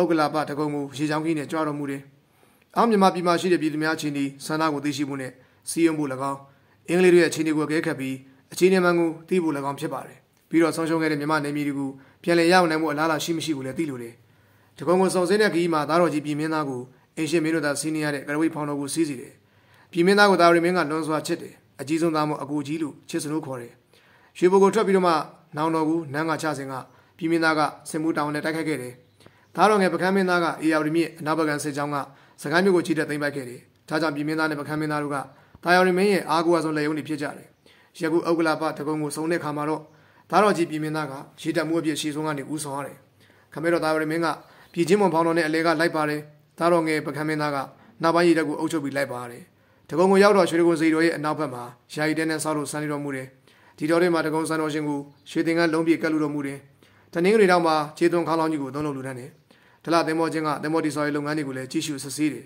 ။ဥက္ကလာပဆန်နန်းတော်မှာဆံမြန်းနေစဉ်ပသိမ်ခရိုင်သမီလာကျွန်းလိတ်ကျွန်းမှာလည်းလောကဥဆောင်စည်းကိုတီးစီပါတယ်။ ငါးလေးတရားတွေကိုလည်းကြောက်စာထိုးပြီးဖေးမဲ့ပြီးတော်မူတယ်။ဒီအချိန်မှာအနောက်နမ်းမိပြမမြလေးကတကုံစံတော်ရှင်ဘုရားကြီးရဲ့အနောက်ဘက်ဇောင်းနဲ့တစောင်းလစ်လက်နေတာကိုမြင်တယ်။ဒီဇောင်းနှန်းကိုစောက်လို့လူတန်းလို့ကြောင်းမောင်တော်တာယော်ရီမင်းစီကိုခွင့်ပန်တော့စောက်လို့လူတန်းခွင့်ရပါတယ်။တာယော်ရီမင်းကဌာနအစုစုကိုလူတန်းနေစင်းမှာပဲနေစစ်အင်္ဂလိပ်တွေရဲ့အခြေအနေကိုလည်းစုံစမ်းလေ့လာတယ်။ဒီရက်ကအင်္ဂလိပ်တို့သိမ့်ပိုက်ထားတဲ့မြမနေမီတွေကိုပြန်လည်တိုက်ခတ်သိမ့်ပိုက်နိုင်ဖို့ဆိုတာကဘလို့မှမဖြစ်နိုင်ကြောင်းကိုတာယော်ရီမင်းကသဘောပေါက်နားလေရတယ်။ ကိစ္စဝဝကိုဆောင်ရွက်နေကဥက္ကလာပမှာငါးလကျော်ကြာမြင့်သွားတယ်။နောက်လည်းနောက်ပါချွေရန်ဒီကနေပြီးတော့ကိုလမ်းဆော့တော့ပြန်လို့လာပြီ။သို့တော်လည်းမင်းကြီးကိုမလျှောက်တင်ဝန်းကြတဲ့အတွက်ဒီလိုနဲ့မြောက်ရီမင်းကြီးဦးစားစီကိုချင်းကပ်ကြတယ်။မြောက်ရီမင်းကြီးကစိန်ချန်ကြီးလင်းအောင်နဲ့ရင်ရင်နဲ့မြန်းဆန်ပေ။သုံးရွှေညာမင်းငယ်စီလီတင်းတင်းမွေး။သုံးရွှေကြာမင်းငယ်စီလီတင်းတင်းမွေး။တောင်းတောင်းကြီးလွမ်းချောင်းကြီးရွှေထွာလောင်းရွှေတမွားညင်ညင်သားသီးလေးအခါကောင်းကြီးလွမ်းချောင်းကြီးဆွေးလေးရကြည်ပွဲမောင်မဲတဲ့ခေါ်တူဤ ဂျေးတာကာစောတောမိုင်းညူလင်ချစ်ဆွေးချစ်ဆွေးအင်းပြင်ငင်ဆိုတင်မီပတ်ချန်တန်ကျွင်းကျွီစွတ်ပြန့်သည့်လွမ်းဤနင်းညွန်သားဤမန်လေးပြန်လောင်းပြောင်းမိရန်မှန်နှန်းကွာလမ်းဝေးစွတ်ပြန့်သည့်လွမ်းဤတိုင်းကြီးပဲမိတာစသဖြင့်နောက်တော်ပါချမ်းများအမရပူရနေပြီးတော့ကိုလွမ်းစွတ်တရိယာသဖြင့်ဥက္ကလာပတကုံမျိုးကပြန်လိုလာပြီဖြစ်ကြောင်းစေချန်ကြီးလေးအစရှိတဲ့ဥက္ကလာပပြည်မွန်တခြင်းကိုရေးတွင်ဆက်သွင်းပါတယ်ဒီတော့မှပဲမင်းကြီးကလည်းနေပြည်တော်ကိုပြန်ဖို့အမိန့်ချမှတ်တယ်ဒီအချိန်မှာခေါင်းလောင်းကြီးသုံးလို့မပြီးသေးဘူး ဒါကြောင့်ကျေးဇူးပညာရှင်ဝန်ထောက်မင်းကြီးမဟာစီသူနဲ့ပရိဝန်လက်လက်တိုက်ဝန်မင်းကြီးမှာမင်းကျော်သင်္ခရာတို့ကိုအပိသက်လှုပ်ဆောင်မှုထားရခဲ့ရတယ်ပြည်တော်ပြန်ခကြီးမှာသာဝရီမင်းကြီးကဒလသင်းမောချင်းမှာတိဆောက်ပြီးစီးသွားတဲ့ရန်နာရင်မွန်သင်းမောနဲ့စံတော်မူတဲ့လန်ကီမှာမင်းသားဘွားကသာယာဝရီမှာတည်ထားခဲ့တဲ့ဇီတော်ကိုဝင်ရောက်ဖူးမြော်တယ်ရာဇဝအကျဉ်းသားတွေကိုလည်းလွန်ငင်းချမ်းသာခွင့်ပေးခဲ့ပါတယ်အဲဒီကနေဆက်လက်စံတက်လာကြတော့ခြေစုံးကတက်ပြီးမင်းမှုစိတ်ကန်းကိုဆိုက်ရောက်ကြတယ်ဒီစိတ်ကန်းမှာတညအိတ်ဆက်ရန်နာကြမှာဖြစ်ပါတယ်အဲဒီကပြည်မင်းသားကသူ့ရဲ့နဲ့ကဆန္ဒတရက်ကိုအကောင်းနဲ့ပေါ်ဖို့ဆုံးဖြတ်လိုက်ပါတယ် ပြည်မင်းသားကစာပေဝါဒနာပါသူမှုရှင်မာရထသာရရဲ့ရှေ့ဆက်တော်သွားဒေါ်လာကိုလေးလာဖတ်ရှုမှုတယ်ဒေါ်လာထဲမှာရှေ့ဆက်တော်ဘုရားရဲ့တရားတိဒဘုရားသမိုင်းကိုအတိအကျဖော်ပြထားတော့ဘုရားရှင်ကိုကြီးညိုသရာဈေးကတပေါ်ပေါ်ပေါ်လာခဲ့တယ်ရှေ့ဆက်တော်ကိုလည်းသွားရောက်ဖူးမြော်လို့တဲ့ဆန္ဒဖြစ်ပေါ်လာတယ်ပြီးတော့မြောက်တောင်မိုင်းနေတပင်တွေနဲ့ဗတ်ချေချင်းချင်းပန်းအင်ဂျင်လဲရွက်ချင်းခိုက်တဲ့ဆောင်းကျိုးညီသူနမိနှမျောလွမ်းပွင့်မောစွာဆိုတဲ့စာပိုက်ကိုဖတ်လိုက်ရတဲ့အခါမှာတော့ဒေါတော်ကြီးမြေတဘာဝရဲ့လွမ်းမောပွေရာကသူ့ရင်ထဲကိုကူးဆက်ရှက်နွေလောင်ခံစားရတယ်။ ဒါကြောင့်ရွှေစက်တော်ဘုရားကိုဖူးမြော်လွန်တဲ့ဆန္ဒကပြည်မင်းသားရှင်ထဲမှာကြာရှည်ကြာမျိုးကင်းရောက်နေခဲ့တယ်။အခုတော့အခန်းသိလိုက်လီခီးလန်းနဲ့ကြုံတယ်။တညတာအိဆက်ရနာကြမိမှုအခါသိမ့်ခိုက်ဖျားလိုက်ဖူးမယ်။မြင်းကိုအပြင်းနေရင်မိုးတောင်းတဲ့အမိပြန်ရောက်လာနိုင်ကောင်းတယ်လို့တွက်ဆတယ်။ဒီလိုနဲ့ခမဲတော်ရောက်လာကိုတော့မဆောင်တော့ဘဲနဲ့မြင်းကိုပြင်းနေလို့ရွှေစက်တော်ဘုရားကိုခီးဆက်ခဲ့ပါတယ်။ပြည်မင်းသားကတကုံးစင်းသက်တကုံးတက်ပြီးတော့မှမြန်နဲ့တာမောဆုံးတကြောဝေတတော်ထွက်ဝင်တထောင်မြင်နဲ့ခီးနေခဲ့တယ်။ညအချိန်လည်းပြည့်လို့ခီးမတွင်ခဲ့ဘူး။ဒါကြောင့်ပြည်မင်းသားက စိတ်ကန်းကိုမိုးတောင်းတဲ့အတူပြန်ရောက်မလာနိုင်ခဲ့ဘူး။အချိန်နဲ့တက်တော်တွေမထွက်တော့ပြည်မင်းသားကိစ္စကိုခမဲတော်တာယာရီမင်းသိသွားပြီးမိမိကိုခွင့်ပန်ခြင်းမပြုဘဲနဲ့ထင်ရဆိုင်တဲ့သားတော်ကိုခွင့်မလွန်နိုင်ဖြစ်ရတယ်။ဒီအချိန်တွေကတောင်တန်းမိဖုရားကြီးစောင့်စားနေတဲ့အခြေအနေပဲဖြစ်ပါတယ်။မိဖုရားကြီးရဲ့ဖို့အခွင့်ကောင်းဖြစ်ပါတယ်။မိဖုရားကြီးကသူ့ရဲ့သားတော်ရင်ပကံမင်းသားကိုသာထိနေရစေလို့လေဒီအတွက်နန်းပလင်နဲ့အနီးကပ်ဆုံးဖြစ်တဲ့ပြည်မင်းသားကိုဖယ်ရှားလို့တာကြားပြီးအခုခမဲတော်နဲ့သားတော်ကြီးပြည်မင်းသားတို့စိတ်ဝမ်းကွဲနေကြတာကိုရင်ကြားစေရမယ့်အစားအစင်းတွန်းလိုက်ပါတော့တယ်။ မောင်တော်ဗျာပြည်မင်းသားကရှင်ပြန်ဖြစ်ခြင်းလုံးနေတယ်။ဆက်တွေ့ရဘုရားမှာစုသွားတောင်းတာပါဗျာ။မီးလောင်ရလေးပင်းလိုက်ပြီးဒါရီမင်းကပြည်မင်းသားပေါ်ပို့ပြီးစိတ်ကွက်သွားတယ်။ဒါကြောင့်ပြည်မင်းသားကိုရှေ့ဆောင်ပုံမှုအရာကနှုတ်သိမ်းလိုက်တယ်။သားတော်ငယ်ပကံမင်းသားလက်ကိုအဲ့လိုအကျဉ်းနေလိုက်ပါစေတယ်။ပြည်မင်းသားခင်ဗျာအသွားမတော်တော်လန့်ဖြစ်ရပြီ။နေပြည်တော်ကိုပြန်ရောက်လာတော့ပြည်မင်းသားကလွတ်တက်မင်းသားခွင့်ရေးကိုမရတော့ဘူး။သို့တော့ထွက်တော်မူရမှာပါဝင်ဆင်နွှဲခွင့်ကိုတော့ပေးထားတယ်။ဒါရီမင်းကသားတော်အပေါ်မကျေနပ်ပြီမဲ့သားတော်ရဲ့ရင်သွေး၅ဦးအနက်အကြီးနေရကို ရောင်တုံးနာတွင်မင်္ဂလာပြုလို့ရှင်သာမဏေပေါင်ကိုသသိမ်းပေးခဲ့တယ်။ဆောင်းကလောကန်ထိပ်မှာတည်ဆောက်နေတဲ့ဇေဒီတော်ကြီးလည်းပြီးစီးသွားပြီဖြစ်တယ်။ဒီလိုနဲ့ထောင်ရနဲ့၅ခုတပူရဲလာဆန်းဆယ်ရက်နေ့နှစ်ချက်တီးကျော်အချိန်မှာအမြောက်ပြစ်ပေါက်လို့ထီတော်တင်ပွဲကျင်းပပါတယ်။ရန်နီယာတက်စင်လို့ရွှေကြီးတော်ကိုတင်တယ်။ဇေတော်ရဲ့ခြေရာသီးမှသည်ဖက်နဲ့တွင်မြေသူတိုင်အောင်ရွှေစမ်းမုံမှန်ချလူတော်မူပါတယ်။တပူရဲလာဆန်း15ရက်နေ့မှာတန်ဃာတော်108ပါးတို့ကိုအဘုဒ္ဓသင်္ကန်းပေးခဲ့ရာခပလာကောစောပရိသပင်စရာတိကိုရေးဆက်သွန်းကြလူတန်းပါတယ်။အဲဒီနောက်ပင်မင်းမြတ်က ဒါဝရင်သာနတ်ပြည်မှာမေတော်မိနဲ့သားကိုးကွယ်ရာဆူလာမဏိဇေတော်ရှိတယ်လို့လူပြည်မှာငါကိုယ်တော်မြတ်တီထားကိုးကွယ်တဲ့ဤဇေတော်ကိုလောကဆူလာမဏိလို့တွင်စီလို့ကြီးညာတော်မူပါတယ်မိဘကောင်ကြီးရဲ့ဇေတော်ကိုမဟာတိလောကသမီးတော်စကြတော်ကြီးတီထားတဲ့ဇေတော်ကိုလောကပရမီအနောက်နမ်းမိဖုရားမမြကလေးတီထားတဲ့ဇေတော်ကိုယရနာလောကဝေသာလီမိဖုရားတီထားတဲ့ဇေတော်ကိုသုံးလို့ထိပ်ပန်းလို့အတီးတီတွင်စီပါတယ်ဒါရီမင်းကလောကဆူလာမဏိဇေတော်ကြီးကိုတီထားကိုးကွယ်ပြီးတဲ့အခါရှင်ပုံညဆလီဥပုံညကိုပင့်ဖိတ်တယ်ပင့်ဖိတ်ရတဲ့အကြောင်းကလည်းရှိတယ် ဒါယာရီမင်းမင်းသားဘဝဆလီဥပုညာကတာမဏိဘုန်းနဲ့ရှိစဉ်ဒါရီမင်းသားကိုအခုလိုပေးတင်ဟောခဲ့တယ်။ဂျကာရောကတနေ့သောအခါမှာမင်းအေဂရီဖြစ်လိမ့်မယ်။မြို့သုံးမြို့ကိုလည်းတီဆောက်နိုင်လိမ့်မယ်။စီရီပရိုးကြီးတွေကိုလည်းတီထားကိုးဝယ်နိုင်မယ်။ဒါတော့မြို့တော်တွေထိနှံဆက်ခံနိုင်လိမ့်မယ်။သို့တော်လည်းတူသားမိဖုရားတွေကပုံကံဖို့မြင်ချောင်းပါတဲ့။ဒီလိုဟောခဲ့ပြီးတော့အခုဇေတော်ကြီးပြီးတဲ့အခါမှာဒါရီမင်းကရှင်ပုံညကိုထပ်မံပိတ်ပိတ်လို့အခုလိုမိန့်တော်မူတယ်။ရှင်ပုံညဟောခဲ့တဲ့အတိုင်းကျွန်တော်မင်းအေဂရီဖြစ်မယ်ဆိုတာမှန်ခဲ့ပြီ။မြို့သုံးမြို့တီထောင်နိုင်မယ်လို့ဟောခဲ့တဲ့အတိုင်းကြောင်မြောင်းမြို့ရတနာပူရမြို့ အမရပူရမြို့တို့ကိုလည်းမုံမှန်နိုင်ခဲ့ပြီ။ဇောင်းကလောကန်ထိပ်မှာဇေတော်ကြီးပြီးစီးလို့ထီတော်တော်မှတင်ခဲ့ပြီးပြီ။ရှင်ပုံညဟောတာရီအလုံးမှန်ကန်ပြီးတယ်။အခုကျွန်တော်ဇာတာကိုထပ်မှန်ပြီးဆက်စစ်ပြီးစီလို့တယ်။ဗေမင်းကဒီလိုအမိန်တော်ရှိတော့ရှင်ပုံညကဒါရီမင်းရဲ့ဇာတာတော်ကိုတေချာခဏဆက်စစ်ပြီးအခုလိုဟောကိန်းထုတ်တယ်။ဗုဒ္ဓဦးသားမင်းအေဂရီရဲ့ရည်ရည်သမျှအောင်မြင်ပါမယ်။ဒါတော့တူတော်တို့ပုံကန်ခြင်းမိမများဖောက်ပြန်ခြင်းနဲ့ကြုံရတတ်ပါတယ်။သို့တော်လည်းသူတို့ကံကြမ္မာအလျောက်လွင့်စင်သွားကြပေလိမ့်မယ်။ယခုသက်တော်58နှစ်အတွင်းဇာတာတော်ညှိုးနှွမ်းပါတယ်။ ဒါကြောင့်ရာဟုထောက်အရက်မှာယာယီဆံမြန်းသိမိတယ်။သက်တော်60မှာဒါတိနာမင်းလူဒါဝရိနာကိုတက်နိုင်ခြင်းရှိချောင်းပါ။ရှင်ပုံညာကအခုလိုဟောကိန်းထုတ်တော့ဒါယောရီမင်းရဲ့စိတ်မှာအနောက်ရှက်ပူဖြစ်ရတယ်။ဥက္ကလာပမှာပြန်လာကြတဲ့ကဒါတော်ကြီးပြည်မင်းသားကိုအပြစ်ဒဏ်ပေးထားတဲ့အတွက်စိတ်တော်မကြည်မသာဖြစ်နေတယ်။မင်းကြီးအားကိုးတဲ့တားချစ်ပေမှုလို့စဉ်းစားမိတိုင်းမှာယူကျုံမိရစိတ်ပင်ပန်းလာတယ်။ပြည်မင်းသားဘက်ကကြည်ပြန်ရင်လည်းပဲကြီးကျယ်လာတဲ့ပြစ်မှုမဟုတ်ဘဲနဲ့ကြီးမားတဲ့ပြစ်ဒဏ်ခံရတော့များစွာပဲစိတ်မကောင်းဖြစ်နေတယ်။ မိမိတဲ့ငရေသူညီတော်တွေကိုလွတ်တဲ့မင်းသားဖြစ်ကြော်လွန်ခံထားလိုက်တော့မိမိဖို့သိခါကြမ်းမှန်းမသိကြသွားတယ်။ဝန်ကြီးမူကြီးတွေအမတ်ကြီးတွေကလည်းပြည်မင်းသားဘက်ကဝင်ပြီးရှောက်ထားတောင်းပန်ခြင်းမပြုရဲကြ။ဒါကြောင့်ပြည်မင်းသားကိုဥပက္ခပြုထားသလိုဖြစ်နေတယ်။ဒီအတွက်လည်းမူမတ်ဒီဘက်ကမချစ်တင်ငယ်ဖြစ်နေကြတယ်။ဒီကပြည်မင်းသားကိုချစ်ခင်သူအပေါင်းအသင်းတွေတပည့်ကျေးဇူးတွေကမင်းသားကိုပြုနာတတ်လို့သူစီကိုအဝင်ထွက်များလာကြတယ်။အားပေးနှစ်သိမ့်တဲ့သဘောပါ။မင်းသားအကျဉ်းရတော့ခဲပါမင်းသမီးစီကိုလည်းအဝင်ထွက်များလာတယ်။မိဖုရားမမြကလေးရဲ့မိခင်ဒေါ်ဤတောင်မှပြည်ကိုတော်ကြီးမျက်နှာငယ်လာကြီးဆိုပြီးအားပေးနှစ်သိမ့်ကဝင်ထွက်သွားလာတယ်။ ပရိသတ်ဘုရင်တို့ရဲ့အတိုင်းဝိုင်းမှာဒူးပေါ်ဒူးတွန်းမှုတိုင်းမှုဂုံချုံမှုတွေရှိသဖြင့်အခုလည်းမမြကလေးတို့ကိုမလို့မုံထားသူတွေကမမြကလေးရဲ့တာတော်ဆွေမျိုးတွေကပြည်မင်းသားအပေါင်းပါတွေလို့မြင်လာကြတယ်။ပြည်မင်းသားနဲ့မမြကလေးတွေရဲ့ခင်မင်မှုကိုလည်းရှုတော်တစ်မျိုးကမြင်လာကြတယ်။ဒီကိစ္စကိုသားရီမင်းကိုအသိပေးသူတွေရှိလာပါတယ်။မိမိတဲ့အသက်23နှစ်မြငယ်တဲ့မမြလေးကိုအချစ်ကြီးချစ်ခဲ့တဲ့သားရီမင်းဖို့မျက်ဆက်ပိုးဝင်ဖြစ်ခဲ့ရပြီ။နောင်တော့ပြည်မင်းသားရဲ့နေရာမှာအစားထိုးထားတဲ့ညီတော်ပကံမင်းသားကခမဲတော်သားရီမင်းစီကိုမပြတ်ခါစားတယ်။ ခါစားနေတိုင်းသူချစ်တဲ့နောင်တော့ပြည်မင်းသားဘက်ကရက်တီလို့တင်လျှောက်လိရှိပါတယ်။ဒါကြောင့်လည်းပြည်မင်းသားရဲ့အခြေအနေကအဆိုးဆုံးဖြစ်မလာသေးဘူး။မကြခင်မှာပဲခမ်းမင်းသားကရုတ်တရက်လီနာယောဂဆွဲကပ်လာတယ်။အဲ့ရကတော့မှမထားနိုင်တော့ဘူး။ဒါရော်ရီမင်းကလည်းသိရင်သိချင်းသားတော်စီကိုတွားရောက်လို့ကိုရံပြုစုတယ်။သို့တော်လည်းပကမ်းမင်းသားကယောဂကနေတတခြင်းမရှိဘဲနဲ့ခမဲတော်ရင်ခွင်ထဲမှာပဲအသက်ပြောင်းရရှာတယ်။ဒီကိစ္စမှာမိပြကောင်ကြီးကအစိတ်ခတ်ကြောင်းနန်းတွင်သူအချို့သိရှိကြတယ်လို့ဆိုပါတယ်။မိသူဆိုစီကမူနန်းပလင်နဲ့နီးကပ်နေသူမင်းသားတစ်ပါးဖြင့်ရော့သွားပြန်ကြည့်ပြီး ပကမ်းမင်းသားကရုတ်တရက်ကွယ်လွန်လာကြောင်းရွှေနန်းတော်ထုံးစံနဲ့ညီခန္ဓာကြီးကျယ်စွာတကြိုချင်းမပြုတ်လိုက်ရဘူး။ရွှေခေါင်းမှာထည့်ပြီးတော့မှမင်းသားအိမ်တော်ဝင်းအတွင်းမှာပဲကုသွင်းတကြိုလိုက်ရတယ်။ဒီအတွက်မင်းကြီးကများစွာယူကျုံမြတ်ဖြစ်သွားတယ်။ပကံမင်းသားကတော့ကွယ်လွန်သွားပြီ။ပြည်မင်းသားကိုလည်းတန်ခတ်ထားခြင်းဖြစ်လို့ပကံမင်းသားနဲ့မင်းတော်မင်းသားတို့ကိုလွတ်တဲ့မင်းသားတွေပြခန့်ရလိုက်ကြတယ်။ဒီအခါမှာကြက်ငတ်ဂျိုးခါစားတဲ့တရိษံတိုက်ပွဲတွေနဲ့သာပျော်ပါနေတဲ့ပကံမင်းသားနဲ့သူတို့ပဲကြောပိုင်ဆက်တို့တစ်စကန်ထလာကြတယ်။ဒါရော်ရီမင်းကလည်းဇာတာတော်ညှိုးနှမ်းတော့မန္တလေးဘက်မှာရှိတဲ့မင်းတဲ့ဤကင်းရက်ကိုယာယီပြောင်းရွှေ့ဆန်းနေတော်မူတဲ့ မင်းကြီးရဲ့ဝေဒနာကတတ်တာသည်ဆိုတာမရှိတော့ဒီလိုချိန်ကမြို့မှာတောင်းတမ်းမိဘုရားကောင်းကြီးသာဘရင်အပါခါစားခွင့်စံနေခွင့်ရနေရှာပါတယ်။ဇေဝဆသပြုစုခွင့်ရပါတယ်။မိဖုရားမမြလေးကတော့ပြုစုယူရဖို့ဝေးစွာခေတ္တခဏတော့မှခါစားခွင့်မရခဲ့ပါဘူး။ဘရင်ကိုစားအထီးနိုင်တို့မှာဩဇာလွှမ်းမိုးချဲလဲနိုင်သူတွေကမိဖုရားကောင်းကြီးနဲ့သူသားတော်ပကံမင်းသားတို့ပဲဖြစ်ကြတယ်။ဒီအခါမှာမိဖုရားကောင်းကြီးရဲ့ဆန္ဒဟုသမျှကဘရင်အမိန်တော်များပြထွက်ပေါ်လာပါတော့တယ်။မိဖုရားကောင်းကြီးဟာဒါယော်ရီမင်းက အထူးချမြတ်လို့တော်မူတဲ့မိဖုရားမမြလေးကိုမနာလို့မရှုစိတ်တကကြားပြီးအခုတော့အခွင့်အာဏာစကားတခွန်းနဲ့မမြလေးဦးသားမကကြံရပါလို့ယူဆသူတွေကိုပါဆင်းရှင်းလိုက်တယ်။မောင်တော်ဗျာမိဖုရားမမြလေးကသားတော်ကြီးပြည်မင်းသားမသိမလျော်ချမ်းစီရမှာပါဝင်နေတယ်။သူတို့ကိုရင်နှံချောင်းမျိုးစားရင်တော်ဝင်ကြီးကပါကုညီပူပေါင်းလေးရဲ့ရှိချောင်းပါဗျာ။ဒါရောင်မင်းကမိဖုရားကောင်းကြီးတင်လျှောက်တဲ့စကားကိုယုံမှတ်တော်မူတယ်။ဒီလိုနဲ့ရင်တော်ဝင်ကြီးကိုဒေဝန်ဆန္ဒတော်မြောက်လီကားမှာကိုတော်တိုင်းလက်သုံးတော်လှမ်းနဲ့ထိုးပြီးဆန္ဒတော်ပြင်ကိုယူသွားစေတယ်။ရင်တော်ဝင်ကြီးကလည်းလက်ဝဲတကားပြင်ရောက်တဲ့အခါအနေစာရောက်ပါတယ်။ ဝန်ကြီးရဲ့သားမမိုးလိုင်ကိုတတ်ဖို့မျိုးဝန်ကရှာသေးတယ်။မေဒီဆရာတို့ကဖွက်ထားလို့အသက်ချမ်းသာရတယ်။ဒီအခါမှာဒီရင်တော်ဝန်ကြီးကိုတော်တော်ကြီးကသားမမိုးလိုင်အတွက်များစွာစိတ်ပူပန်မိတယ်။ဒီလိုနဲ့ကိုရင်မမိုးလိုင်ကိုရှင်သာမဏေအဖြစ်ကလူကိုလဲစေတယ်။မိမိပိုင်ရှင်ငွေဘန္နာလေးနဲ့တကွ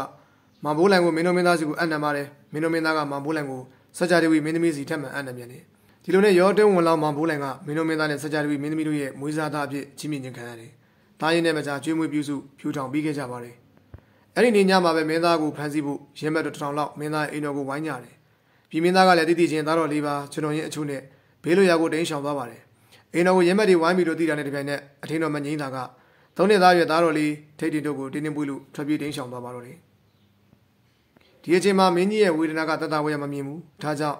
မင်းတဲ့ဤကင်းမှနေပြည်တော်ကိုပြန်လာခဲ့ကြတယ်နေပြည်တော်ရောက်တဲ့အခါမှာကြီးပြတ်တဲ့ဆိုတဲ့အဆောင်ကိုအတူစီမံပြီးမင်းကြီးကိုစံနေတော်မူစီတယ် အမရပူရနေပြည်တော်ကိုပြန်ရောက်ပြီးတဲ့နောက်ပြည်မင်းသားတွေရီမန်ဆောက်လုပ်ထားတဲ့အိမ်ရှိအိမ်တော်မှာဗကံမင်းသားကဝင်ရောက်နေထိုင်လိုက်တယ်တင်းရှောင်သွားတဲ့ပြည်မင်းသားနဲ့သားတော်၄ပါးကိုနှစ်လလောက်အကြာမှာတော့ရှမ်းပြည်နယ်မိုင်းလုံမှာဖမ်းဆီးရမိတယ်ဗကံမင်းသားကပြည်မင်းသားတို့သားဖကိုဒီတိုင်းတာရှိမထားဝန်ဒီလိုနဲ့ခမဲတော်သားပရိမင်းသားကြီးရဲ့အမိန့်တော်ဆိုပြီးတော့မှခွင့်မြတ်မိန့်ထုတ်လိုက်ပါတယ်ကန်ဆိုးသူပြည်မင်းသားနဲ့သူ့သားတော်တွေဖြစ်တဲ့သရိုးမင်းစောအသက်16နှစ်ရှိတဲ့အမြင့်မျိုးစားတမှုသရိုးမင်းပြအသက်15နှစ်ရှိတမှုသရိုးမင်းလအသက်12နှစ်သရိုးမင်းတင် အသက်9နှစ်တို့5ပါးစလုံးကံတော်ကုန်ကြရှာတယ်ပြည်မင်းသားနဲ့သားတော်လေးပါးကိုကွက်မြတ်ပြီးနှစ်ရက်အကြာမှာတော့အနောက်နန်းဆောင်မှာဒေါ်ဤမိဖုရားမမြလေးနဲ့လိုင်ထိတ်ခေါင်တွေတို့ဆုံကြီးရှိနေကြတယ်အခုလိုချိန်မျိုးမှာမမြလေးနဲ့လိုင်ထိတ်ခေါင်တွေတို့ကကြပြားရွက်ဖက်လေးရှိတယ်တခါတည်းဒေသချင်းတွေတီးဆူတက်ကြတယ်တချင်းချပေးစရာရှိရင်လည်းမမြကလေးကလှိုင်းကိုတချင်းချပေးလို့ရှိပါတယ်အဲ့ဒီနေ့မနေ့စားတော့ခေါ်ပြီးချိန်မှာတော့လှိုင်းမင်းသမီးကလေးကပရပိုက်စုကိုရွေးထုတ်လို့မေတော်မမြကလေးကိုအခုလိုပြောကြားလိုက်ပါတယ်မေတော်ဗျာ ဒီပရပိုက်တက်ကဟော်ရီ40ကလေးကိုတင်းတင်းအင်မတန်နဲ့သက်မိတယ်ဆိုပြမယ်နော်မပိုင်ခင်ဆိုင်မြင်ထွက်ပါပြီမဆိုင်လင်းနိုင်ချင်းကြက်ခဲ့နေအားထက်ကလည်းပါပြီတယ်နဘက်ကျောလင်ဖြင့်လက်ရောပါကုလို့ငန်းကြလေမွန်းရတော့မယ်လှုံလုံလုံလှုံပြီးခစ်တွင်မှ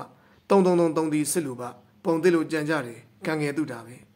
လက်ကုန်းအိမ်ဝကြွန်းစံကြောစွာလိန်တိနေဘုံကျင်ကင်နေလှိုင်ကတန်နေတန်ထားနဲ့ဆူပြတယ်မမြလေးကသမီးတော်လေးရဲ့ဇုံဝံဆွဲလက်ကိုများစွာနှစ်သက်တယ်ဒါကြောင့်သမီးလေးရဲ့ပခုံးကိုပွေဖက်လို့ ကောင်းလိုက်ပါပြီးတော့တဲ့သမီးလေးရဲ့လေးစစ်ကိုတက်ပြတ်လို့ဆွနေတာကူကထူးခြားတာထီမှုနန်းလည်းပိုဆန်သွားတယ်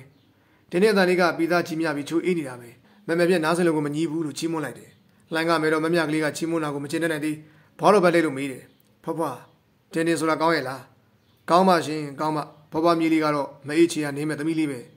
ဘွားတော်နဲ့မေတော်တို့ကအခုလိုချီးကျူးပြန်တော့လှိုင်ကကလေးပြီးပြီးဝမ်းသာရှင်မြူးသွားတယ်ပြီးတော့မေတော်မမြကလေးကိုမေးခွန်းတွေတစ်ခုပြီးတစ်ခုမေးမြန်းมาတော့တယ်ဒီကမြကိုမမေရေးတာကြားပါလား ကြားပါပြီသမီးရဲ့တင်းတင်းခမဲတော်နန်းတော်မူစားမှာရေးခဲ့တာခုနှစ်နှစ်လောက်တောင်ကြာခဲ့ပြီတင်းတင်းခမဲတော်ဘယင်ပြည့်ပြည့်ချင်းမမေ့ဘူးမိဖုရားမြောက်တော်မမူသေးဘူးမြောက်အိမ်တော်မှာပဲဆန်နေရတယ်အဲ့ဒီချိန်မှာရင်ထဲခံစားမိတာနဲ့ဒီလေးစစ်ကလေးကိုရေးချင်းမိတာတင်းတင်းမမေကဘယ်အတွက်ကြောင့်တောင်နန်းဆန်အကမေဒီမဖြစ်ရတာတော့သမီးလေးရေတောင်နန်းဆန်နေဆိုတာကမဟာစီမဟာသွေးမဟာနဲ့ဖြစ်မှတင်ရိုးရှိတယ်မမေကဒါရောပဲနေမျိုးလीအဲ့လိုဆိုတော့နန်းရမိပြဖြစ်တာတော့မှမြင်လာပြီဆိုရမှာပေါ့လှန်ကမေတော့ရှင်းပြတော့ကိုနားထောင်ရင်ကတွေ့ငင်းငင်းလေးဖြစ်သွားတယ် ဘာကိုစဉ်းစားမိတယ်မသိသူစိတ်ထဲရှိသမျှပုံမလင်းလင်းပြောလိုက်တယ်တင်တင်ကတော့မင်းသမီးမဖြစ်ချင်ပါဘူးမမေလွတ်လွတ်လပ်လပ်လည်းမနေရဘူးခမဲတော်ကိုဖူးမြင်ခြင်းလုံးမှာဖူးခွင့်မရတဲ့ဘဝအခုဆိုရင်တင်တင်တို့စီကိုခမဲတော်ကြွမလာတာကတော်တော်ကြာသွားပြီတော့မမေ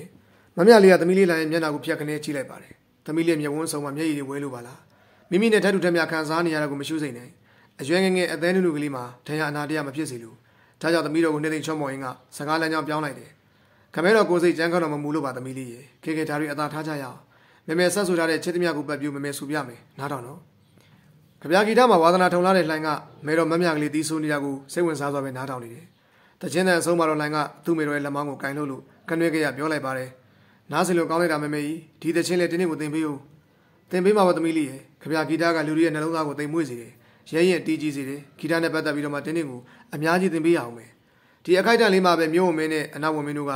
လူတစ်ချိန်လောက်နဲ့အတူမမြလေးတို့ရှိနေတဲ့ခမ်းမဆောင်ကိုရောက်လာကြတယ် မိဖုရားမမြကလေးနဲ့သူမိခင်တော်ဤတို့ကိုပြည်မင်းသားရဲ့ကြံရပါများဆိုတဲ့ဆွဆွဲချက်နဲ့ဒေတံပေးဖို့ဖန်ဆီးခေါ်ဆောင်သွားကြတယ်သူတို့နှစ်ဦးနဲ့သားတော်ဆွေမျိုးတွေကိုအချင်းချထားလိုက်တယ်မမြလေးကရဲရင်နဲ့ပြတ်သားတယ်တင်မင်းကိုရင်ဆိုင်ဝတ်တယ်သို့တော်လည်းသူနားထဲမှာသမီးကလေးလာရင်ကိုကြွေးတန်ကအခုထိချားနေရစေသမီးရဲ့ငိုတန်ကသူ့အသေးလုံးကိုအညာကကင်လို့သိနေနာကျင်လာတယ်မျက်ရည်တွေချနေတဲ့သမီးလေးရဲ့မျက်နှာကသူ့အမြင်အာရုံတွေကမထွက်ဘလို့မှဖြတ်ပြက်လို့မရပါလားမောင်တော်သားပရိမင်းနဲ့ချစ်စာခင်စာတုန်းကတစည်းတစ်လုံးနဲ့ရှိခဲ့တဲ့သူတို့မိသားစုသူတို့ပတ်ဝန်းကျင် အခုတော့ဒီမိသားစုတွေတကွဲတပြားနဲ့ဖြစ်ကုန်ပြီးပြန်လဲပေါင်းစည်းရဖို့အခွင့်မသာတော့ပြီအကယ်၍များမောင်တော်စီကိုရှောက်တွင်ရမယ်ဆိုရင်မြာကလေးကမယားကောင်းတယောက်ပါမောင်တော်ပေါ်မှာဘရမသစ္စာမဖောက်ခဲ့ဘူးစိတ်ကူးနဲ့တော့မှမပြစ်မှားခဲ့ပါဘူးမောင်တော်လို့ရှောက်တင်လိုက်ခြင်းစမ်းပါပြီသို့တော်လည်းအခွင့်မသာပြန်အခုတော့တနာငယ်မညာရတဲ့ကြောင့်မမြကလေးကလည်းစင်းခံဥမှတပါအခြားမရှိပြီမြန်မာတက္ကရာ1900နဲ့9ခုနှစ်သတင်းကျော်လာဆန်း7ရက်ရွှေမျိုးတော်ဝန်နေမျိုးမင်းလာဇေယျသူလက်မြို့အာနာသားများထောင်မှုနဲ့ထောင်မှုတန်းအချို့က အနောက်နမ်းမိပြမမြကလေးနဲ့မေတော်တော်ကြီးတို့ကိုအမရပူရအနောက်မျက်နှာတရက်တပင်တုတ်တံကိုထုတ်ယူလာကြတယ်။နေဝန်းနီကမြေအရာရဲ့အနောက်ဘက်တောင်ဆင်းမှာမေးတင်နေပြီ။နေမင်းကညီတော်အယောင်တို့သည်အေယာရီမြေကျောဘုတ်ကိုချနေတော့မြေတပင်လုံးရဲရဲနီးနေမိုးနောင်ဆောင်ကြိုလီကလေးတစ်ချက်ရှက်ပြီးတော့မှတိုက်လိုက်တယ်။ရေပင်ကတပြက်ပြက်နဲ့နေတာကရှုမကြီးနိုင်အောင်ဖြစ်ပါတယ်။ဒါမှချင်းမျိုးဆိုရင်စာစုံမမြကလေးအဖို့ဒီအလှကိုမနစ်သက်ပဲနေမှာမဟုတ်မကြည်နူးပဲနေမှာမဟုတ်စာမဆက်ပဲနေနေမှာမဟုတ်သို့တော်လည်းနေဝန်းနေနေနဲ့အတူလောကကြီးကိုနှုတ်ဆက်ထွက်ခွာရတော့မှာမို့လို့ဒီအလှကိုမခံစားနိုင် မမြလေးကမေတော်တော်ကြီးကိုလှမ်းကြည့်လိုက်ပါတယ်အချင်းတော်ကစားထွက်ကလေးကမျက်လုံးစုံကိုမိတ်လို့လိုက်ပါလာတယ်မေတော်ကရတနာသုံးပါးရဲ့ဂုံကျေးဇူးတော်တွေကိုအာယုံပြုနေတာကမလွဲမိမိနဲ့ပတ်သက်ဆက်နွယ်ပြီးမေတော်အခုလိုပြည့်တန်ခံရတာကိုတော့မမြလေးကစိတ်ဆင်းရဲလာတယ်နာကြည့်လာပါတယ်မကြခင်မှာပဲမမြကလေးတို့ကိုတင်ဆောင်လာတဲ့လဲကရက်တန်သွားတယ်တရက်တပင်တစားပြင်ကိုရောက်ပြီးဒီပတ်ဝန်းကျင်ကမြည်ရရဲ့စီးစာအလားနဲ့ခြားနာလုံးပြီဆိုဂုံမုံမုံကလေးတွေကနေရအနှက်ခဝဝေးတနေရာစီကမိခိုးတွေဥပြီးပြန်တက်နေတာကိုလမ်းတွေ့ရတယ် ပဇင်းရင်ခွဲတွေရဲ့ငုံကြီးတန်တွေကတုတ်တန်ဝန်းကျင်တစ်ခွင်တစ်ပြင်းကိုစိုးမိုးထားပါတယ်ဟိုအမြင့်တင်ကိုင်းတဲ့စီကငတ်ဆိုးတစ်ကောင်ရဲ့တောင်မှခတ်တဲ့တစ်ပြက်ပြက်ကခြေလောင်လှပါတယ်တရက်တပင်တစားပြင်ရဲ့တဘာဝကစိတ်နှလုံးချောင်းချပွေရအတိမမြကလေးကရွှေမြတော်ဝန်စီကပရပိုက်တလွာနဲ့ခံကူစံတစ်ချောင်းပေးဖို့တောင်းဆိုလိုက်တယ်ရွှေမြတော်ဝန်ကရာဇဝတ်ကျင်းသားဘွားရောက်နေရှာတဲ့မမြကလေးကိုနောက်ဆုံးအခွင့်အရေးတရအနေနဲ့တောင်းဆိုချက်ကိုဖြည့်ဆည်းပေးလိုက်တယ်မမြလေးကတပြည့်တစ်ချက်ရှက်ပြီးချပြီးလို့ပရပိုက်ပေါ်မှာစတင်ရေးသားနေတော့တယ်ဖကလေးတင်ကျင်တဲ့အသွင်နဲ့ပရပိုက်ပေါ်မှာတစုံတရာရင်းနေဟန်က ကွက်မြက်ခန်းအစဲစဲရာဇဝတ်သားကဟုတ်ပါလိစရွှေမြတော်ဝန်ကစဉ်းစားနေတယ်မမြလေးကနောက်ဆုံးစာပေကိုအပြီးတက်လိုက်တယ်ပြီးတော့ရွှေမြတော်ဝန်စီကိုပရပိုက်ကိုကမ်းပေးကမိမိကိုတည်တံ့ချမှတ်ခဲ့တဲ့အာနာပိုင်ဆိုးသူစီကိုမပြတ်မကွက်ပို့ပြီးဖို့အထက်ထပ်မှာကြားပါတယ်မမြလေးတို့သားမိကိုထုံးစံနေကြီးကွက်မြတ်ဖို့အချိန်ကြပြီဘကွက်အာနာသားတွေကရိုင်းပြဆော်ကားစွာမမြလေးရဲ့သပင်ကိုကြမ်းကြမ်းနဲ့ဆွဲလို့တွန်းလှစ်လိုက်တယ်ကွက်မြတ်ခံရမယ့်ဆဲဆဲမမြလေးကကြောက်ရွံ့တုန်တုန်ချင်းမရှိငကိုကပင်တရားပြေးသွားတဲ့မမြလေးကချန်တဲ့ရိုင်းပြတဲ့ဘကွက်အာနာသားတွေကိုတော့မှဆုံးမစကားတုံသင်ပြောကြားခဲ့သေးတယ် ပြီးတော့မမြလေးကမျက်လုံးစုံကိုမိတ်လိုက်တယ်ဒီအချိန်မှာနေဝန်းနီနီကအနောက်ရိုးမတောင်ကြားကိုလုံးလုံးဝင်သွားခဲ့ပြီရွှေမျိုးတော်ဝင်လည်းမကြည့်ရနိုင်တော့မျက်နှာကိုတစ်ပတ်ကိုလွှဲလိုက်တယ်လွှဲလိုက်စီကမူဝန်မင်းရဲ့မျက်စိထဲမှာတော့မမြလေးရဲ့နောက်ဆုံးဘဝဇာသိမ်းမလာတာကိုမြင်ရောက်နေပါတယ်။ဘကွက်အာနာသားတွေဆက်လက်ဆောင်ရွက်ဖွယ်ရာကိစ္စတွေဆောင်ရွက်ပြီးချိန်မှာတော့ဝန်းကျင်တစ်ခွင်လုံးအလင်းပြောက်ပြီးတော့မှအမောင်ကြီးဆူသွားပြီဖြစ်တယ်။အပြန်ခီးမှာလဲဝင်ရိုးကတအီမိတန်ကမမြကလေးကွယ်လွန်ခြင်းအတွက်ငိုချင်းချတယ်လို့ရွှေမျိုးတော်ကအိမ်တော်ကိုပြန်ရောက်လာပြီးသူ့မျက်လုံးတွေကလက်ထဲမှာကင်ထားတဲ့ပရပိုက်လွာစီကိုရောက်လာပါတယ်။ ပြီးတော့အလင်းတိုင်းကိုသူ့အနီးကိုရွှေ့လို့ပရပိုက်ကိုဖတ်လိုက်တယ်။လောကရန်ရှိပါဖျားပါဟောရာဖြစ်ပြမြတ်တယ်မလား။ဒေးကြစွာမတ်ဆွဲတတော်တို့မိသည်မတီကြီးဖောက်ပြန်တတ်မြေငါမင်းလို့ပြုပြန်ခံရသူအစ်စ်ပအဖြစ်ဖြစ်အပြန်ပြန်လွှဲတင်ပေးတယ်သင်္ခါရလမ်းမှန်ကိုရွှေညံတော်ရှုအောင်ရှင်လေတဲ့ရွှေမြတော်ဝန်ကမမြကလေးပါလိုက်တဲ့ပရပိုက်လွာတွေကတေးတက်ကိုဖတ်ပြီးတဲ့နောက်ခေါင်းတက်စစညင်ကအခုလိုပြောနေတယ်အမှန်စစစ်အနောက်နမ်းမိပြမမြလေးကသူအကြီးကြီးချစ်ခဲ့ရတဲ့မောင်တော်တာယာရီမင်းကြီးပြတ်တတ်မှဆန္ဒနေရရှာတဲ့အဖြစ်ကိုမသိဘူး ဒီတော့ပရပိုက်ကိုတာယာရီမင်းလက်ထက်ရောက်အောင်မိတို့ပို့ဆောင်ပေးမလဲအခုချိန်မှာအမရပူရနေပြီးတော့အုပ်ချုပ်ရေးကိုပိုင်ဆိုးနေသူတွေကမိပြကောင်ကြီးနဲ့သားတော်ဗကံမင်းသားတို့ပဲဖြစ်တယ်မလားဒါကြောင့်ရွှေမြတော်ဘုံကမမြကလေးရဲ့ဒီထက်လောပရပိုက်ကိုမိဘကောင်ကြီးကိုဆက်သားလိုက်ပါတော့တယ်။လိုင်တဲ့အမိုက်ကလေးကိုပိုက်ထွေးတော်မူလေပါ။မဲတော်မမြလေးကွက်မြက်ခံရလီတော့လှိုင်းကလူလောကသမုတ်ကျင်မှာမျက်စိတင်ငယ်နဲ့ချိန်ခက်ရှာတယ်။မဲတော်ရဲ့အပြောဆိုမဲတော်ရဲ့အပြုံးမဲတော်ရဲ့နှွေးထွေးတဲ့ပြုစုယူရမှုတွေကိုသတိရလေတိုင်းတန်တာငိုကြွေးရလွန်းတဲ့အတွက် အတန်အောင်မှမထွက်နိုင်တော့မနေ့ညဖျားဝှပြုခြင်းနဲ့မဲတော်နဲ့အတူဖျားဝှပြုခဲ့ပုံကိုသတိရတယ်။စားတော်ခေါ်ခြင်းနဲ့ယူရစွာနဲ့ကျွေးမွေးတဲ့မဲတော်ကိုသတိရတယ်။နေကင်းအားလက်ခြင်းတွေမှာကြပြတဲ့ချင်းတွေတီးဆွဲတာကိုတန်တာမိပါတယ်။ဆက်ရဝင်ချိန်မှာမေတော်ရင်ဝင်ထဲမှာတိုးခွေပြီးအိတ်ခဲ့တာတွေကိုဘလို့မှမေ့လို့မရဒီတော့ညစဉ်ညတိုင်းကောင်းစွာအိတ်ဆက်ခြင်းမပြုတ်နိုင်ညာကြီးတကောင်ထငိုခြင်းငိုနေမိတယ်ဘွဲတော်စာကိုလည်းမမမစားသုံးမနဲ့ငိုလိုကြီးနေပါတယ်လိုင်းအချင်းတွေကိုတပင်နာမင်းသမီးစုပြားကြီးဆက်ကြတီဗီမင်းသမီးချားတော့တနာတဲ့တော့ခေါ်ယူပြီးမွေးစားလိုက်ပါတယ်လောကအကြောင်းဓမ္မအကြောင်းကျွမ်းကျင်တဲ့ စားတတ်ပေးတဲ့မိမမြတ်ဖြစ်တဲ့ဆက်ကြတီဗီမင်းသမီးရဲ့ထင်းထင်းဆောင်ရှောက်မှုထုံးတဲ့ဆုံးမမှုအောက်မှာလိုင်းကကြီးပြင်းလာရတယ်လိုင်းကရွှေပင်နားလို့ရွှေကြီးဖြစ်ရပြီဒါယောင်ဒီမင်းရဲ့မိဘကောင်ကြီးကမြင်တဲ့ဆက်ကြတီဗီမင်းသမီးဟာဒုက္ခရောက်နေသူတွေရဲ့အသက်တည်မြဲချမ်းသာအောင်ကယ်တင်နိုင်သူဖြစ်တယ်။လိုင်းကိုကယ်တင်ပြီးတဲ့နောက်အမတော်ပြည်သေးတာခဲပါမင်းသမီးရဲ့ဒုက္ခကိုစัจ जा ဒေဝီကအခုလိုကြားပြန်တယ်။ပြည်မင်းသားနဲ့သားတော်လေးပါကွက်မြက်ခံရတယ်။အငယ်ဆုံးသားတော်လေးထိတ်တင်တုံနဲ့သူ့အထိန်တော်မငိမ့်သားတို့လွှဲရလွှဲချောင်းထပ်ပြီးဒိန်းရှောင်သွားကြတယ်။အခုဘဲစီဘဲဝဲရောက်နေမှမသိ။ ပြည်သေးတာကဗရာမြေလူအယူတစ်ပိုင်းတောကတွေဝိုင်းနေတဲ့ဒီလိုအတိဒုက္ခရောက်နေရှာတဲ့အမတော်ပြည်သေးတာကိုလည်းလစ်လျူမရှိရနိုင်ပြီ။ဒီလိုနဲ့စัจ जा ဒေဝီကအမတော်နဲ့သူသမီးတော်လေးတို့ကိုသူ့အဆောင်တော်ကိုခေါ်ယူလို့စောင့်ရှောက်ထားပြန်တယ်။တအုပ်ဆိုင်ပိုင်းစနေရဲ့ထုံးတဲ့ချက်ကပြင်းထန်လာတယ်ဒီတရားတရားတွေကိုခန်းစားနေရရှာတဲ့မြတော်မင်းသမီးရဲ့သမီးတော်ကြီးမင်းမြတ်စိုး23နှစ်သမီးတော်ငယ်မင်းမြတ်လ20နမ်တော်မင်းကြီးရဲ့သမီးတော်မေစု19နှစ်နောင်စင်ပြမရှိမိဖုရားကြီးဖြစ်လာသူပေါ့အနောင်နမ်းမိဖုရားမမြကလေးသမီးတော်လိုင်ထိတ်ကောင်းတင်73နှစ်ဆက်ကြမင်းရဲ့သမီးတော် ကန်ဒီထိတ်ကောင်းတင်12နှစ်ပကံမင်းသားရဲ့မြောက်သားတော်ခင်အောင်ပွင့်ပကံမင်းသားရဲ့သမီးတော်တွေဖြစ်တဲ့မြင်းခွန်နိုင်မင်းသမီးနဲ့ကောင်းတော်မင်းသမီးပြည်ထိတ်တာခဲပါမင်းသမီးနဲ့သူ့ရဲ့သမီးတော်လေပြည်ထိတ်ကောင်းတင်9နှစ်စသူတို့ကစัจ जा ဒေဝီမင်းသမီးရဲ့အေးမြတဲ့ဘုန်းကြီးကိုခိုးလုံနေကြရတယ်ဒါအပြင်စัจ जा ဒေဝီအကာအကွယ်ပေးမှုကြောင့်အသက်ချမ်းသာရသူတို့စည်ရင်မှာရောတွင်းဝင်ဖြစ်လာတဲ့မောင်ဘိုးလိုင်နဲ့မြောက်ရီဝန်ကြီးဦးစားတို့နှစ်ဦးလည်းပါပါသေးတယ်။ဦးစားကိုကယ်တင်ရပုံကဒီလိုပါ။ဒါရီမင်းသားကရွှေဘိုကိုထွက်ပြီးတော့မှနောက်တော့ကိုတော်လန်ပြီးအယော်ရီမြင့်အနောက်ဘက်ကန်စကိုင်းမြို့ထိတိမ့်ပိုက်ထားတယ်။ အဲ့တုန်းကဦးစာကလွတ်တော်ဝန်ကြီးဖြစ်တယ်လွတ်တော်ကစီးရင်နဲ့ပတ်သက်လို့အမိန့်ထုတ်ပြန်သမျှဦးစာနဲ့မကင်းအမိန့်တစ်ခုမှာတရားရီဇာငင်ကခင်းလို့နာမည်ကိုယဉ်သီးစွာထုတ်ပြန်ခဲ့ပါတယ်အချားဝန်ကြီးတွေကတာဝန်ရှိစီကမူဦးစာကိုပူပြီးအမျက်တော်ရှာပါတယ်ဒီလိုနဲ့တာဝရီမင်းသားထိနှံရတဲ့အခါမှာဦးစာအပါဝင်အပေါင်းမှာ12ဦးကိုထောင်သွင်းအကျဉ်းချထားလိုက်တယ်နှစ်နှစ်လောက်အကြာတိုင်းရင်ဆရာတော်ကြီးပြန်လုံတော်မူတော့မိဘကောင်းကြီးကြွားရောက်ပူဇော်မှာဖြစ်တယ်မိဘကောင်းကြီးထွက်တော်မူမဲ့လမ်းတစ်လျှောက်ကိုအကျဉ်းသားတွေကပြုပြင်ကြရတယ်ဒါဝရီမင်းရဲ့မိဘကောင်းကြီးနဲ့သမီးတော်စုပြားကြီးစကြတဝီတို့ထွက်တော်မူလာလီတော့ အကျဉ်းသားတွေလမ်းဖုံးနေတဲ့နေရာကိုရောက်လာတယ်။အဲဒီကမှစကြတေဝီမင်းသမီးကဝေါတော်ဝရတန်စီလို့အခုလိုမိန်တော်မူတယ်။ဟိုဘနာကလမ်းဖုံးနေတာဆဆမလားခေါ်ခဲ့စမ်းပါအမြန်ခေါ်ခဲ့စမ်းပါတဲ့အဘတော်မြတ်တို့ကလည်းဦးစာကိုတွားရောက်ခေါ်ခဲ့ကြတယ်။ဦးစာကပြည့်သမီးတော်စကြတေဝီရှေ့တော်မကိုရောက်တော့မြေပြင်မှာပြပြဖို့ခန်းစားနေတယ်။စကြတေဝီကဖုံလင်းလေးနဲ့ပေးနေတဲ့ဦးစာပြုတ်ကိုမြင်တော့အလုံးကမှစိတ်မကောင်းဖြစ်သွားတယ်။ဒီလိုနဲ့အမေတော်ရှိတယ်။ဆဆအချင်းတော်ထဲမှာဘလို့ပဲပုံနေရတယ်လေ။မှန်လားပါဒေတာလေးဗျာ။ ကျွန်တော်မျိုးကြီးမှာငယ်စဉ်ကပင်အမေစင်မြန်းပေးတဲ့ခြေချင်းစာအခုကဘွားရှင်မင်းတရားကြီးစင်မြန်းစီတဲ့တန်ခြေချင်းကိုဝတ်ဆင်နေရပါတယ်။ထောင်တွင်းရာဇဝတ်ပြည့်တဲ့ကြားခံနေရသည်ကနှစ်နှစ်ကျော်ပါပြီ။နိညာနိုင်မလက်ဘကွက်အာနာသားများလက်ချရရမယ့်အရေးတွေးလို့စိုးတိတိတိဖြစ်နေရပါတယ်။အသက်ရွယ်အိုမင်းလာပြီမို့လို့ထောင်တွင်းအချင်းကြခံနေရသည်မှာပင်ပန်းဆင်းရဲလာပါတယ်ဗျာ။ဦးစားအတွက်လိုက်လဲဝန်းနေသွားတဲ့ဆက်ကြတဝီကထိရောက်တဲ့အကူအညီပေးဖို့အကြံဖြစ်ပြီးအခုလိုဂရီပေးမှာကြားခဲ့တယ်။ဒီလိုလုပ်ပါဆက်ဆက်။တစောင်းနိုင်ပွဲတော်မှာရုပ်ဆောင်ဆရာငရွှေသားသုံးတော်ခံလိမ့်မယ်။ ဒီပွဲတော်ကိုခမဲတော်ထွက်ပြီးရှူစားတော်မူလိမ့်မယ်။အဲ့တော့ဆက်ဆက်ကဘုံတော်ပွဲတပုတ်ရေးပြီးတော့မှငရွှေသားကိုပေးရလိုက်သူတင်ဆက်ပါစီ။စုစုကလည်းဆက်ဆက်အတွက်ခမဲတော်ထံကူညီလျှောက်ထားပေးမယ်။သမီးတော်ဆက်ကြတဝီအကြံပေးတဲ့အတိုင်းကုန်းပေါင်နေမင်းတချင်းကိုရေးဆက်လို့မင်းသားကိုင်ဥရှိသားလက်ထဲအပ်လိုက်တယ်။အနောက်စမုတ်တော်ယူသေးပွဲမှာဒါယောရီမင်းနဲ့မိဖုရားသားတော်သမီးတော်တွေအဆုံးကြီးထွက်ပြီးတော့မှရှူစားကြပါတယ်။ဒီကမှာဥရှိသားက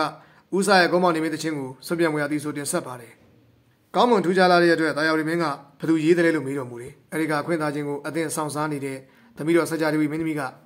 ဝန်ကြီးအောင်ဆဆရေးသားတင်ဆက်သွင်းတဲ့ဘုန်းတော်ပွဲပါဗျာ။အချင်းကြနေဒီမှာလည်းနှစ်ကျော်ပြီးမှုဒုက္ခရောက်လာပါပြီ။ပညာရှိဖြစ်လို့လည်းမျိုးဖို့ကောင်းလာပါတယ်။သစ္စာတော်မြဲ၍ချမ်းသာပေးတင်ကြောင်းပါဗျာ။ဒါယောရီမင်းကပညာရှိကိုချစ်မြတ်နိုးတယ်အကျဉ်းဆုံးသမီးတို့ကဦးစာနဲ့ပတ်သက်ပြီးတောင်းပန်တယ်။ဒါကြောင့်ဦးစာကိုအချင်းကလွတ်ဖို့အမိန့်တော်ချမှတ်တယ်။ညရင်းချင်းပဲမြောက်ရီမင်းကြီးဦးစာအချင်းကလွတ်တယ်။ဒီလိုနဲ့ပဲစကြဒေဝီမင်းသမီးကဦးစာရဲ့အသက်ကိုကယ်တင်ခဲ့တယ်။ သို့တော်လည်းဦးစာနဲ့မောင်ဘိုးလန်တို့ကနန်းတွင်းမှာနေခွင့်ရသူတွေမဟုတ်ပါဘူး။ဒါရီမင်းကမမြလေးကိုကွက်မြတ်ပြီးတနေ့အကြာမှာနိုင်ရွာဆန်းတယ်။ထိနေရရကိုဒါတော့ပကံမင်းသားကဆက်ခံတယ်။သူကမိဘကောင်ကြီးကဖွားမြင်လာကြောင်းခေါင်းအဆင့်သားအပြည့်မြင့်မားတယ်။သို့တော်ပကံမင်းကတိုင်းရေးပြည်မှုတွေကိုမင်းကြီးမင်းသားမူမတ်တီနဲ့လွှဲထားပြီးအပျော်ပါးကူသာလိုက်စားတယ်။ထရိဆန်ချင်းချင်းတိုက်ပွဲလူအချင်းချင်းလက်ပွေလက်ဝေထိုးသမှုတွေနဲ့သာစိတ်ဝင်စားပါတယ်။အပျော်ပါဝါသနာထုံပုံကလွန်ကဲလာတယ်။အတာနှစ်တဲ့ကိုရေမြန်းသပင်ကိုနေ့စဉ်ရက်ပေါင်း40 45ရက်ဆက်ပြီးတော့မှရေကစားတော်မူလေးရှိပါတယ်။ ဇန်နဝါရီပွဲဒီမှာလည်းမလေးလက်စီရဆင်နွှဲတော်မူတယ်။မနက်မျက်နှာတော်ရေချပြီးတာနဲ့ဒီနေ့တရေဆန်တိုက်ပွဲလက်ဝေပွဲတွေမိသည့်ပွဲအစင်းစင်းရှိတယ်လို့မေးလို့ရှိတယ်။လူစင်ကစပြီးစိတ်သိုးကြက်ငှက်လိတ်တန်အောင်တွဲပတ်ထားပြီးတော့မှအစုံပေါင်းမရေးမိများရှိကြောင်းသက်ဆိုင်ရာအရာရှိတွေကတင်လျှောက်ပါတယ်။တစ်ချိန်မှာအိမ်ထဲလောင်ထားတဲ့တိုက်ကျိုးငှက်တွေလောင်ရင်ကနေလွတ်ထွက်သွားတယ်။ဒီအတွက်ဂျိုးဆောင်သူအမှုတန်းခမများအရိုက်ခံရှာပါတယ်အချို့အမှုတန်းတွေရိုက်ခံရရင်သိဆုံးသွားတာတော့မှရှိပါသေးတယ်ဂျိုးလောင်အိမ်လို့သူကလည်းတုံးပြီးနေလန်းခံရတယ်လို့ဆိုပါတယ် နေ့စဉ်သူဝါသနာပါရာတိရစ္ဆာန်တိုက်ပွဲတွေအကြောင်းမေးမြန်းပြီးမှ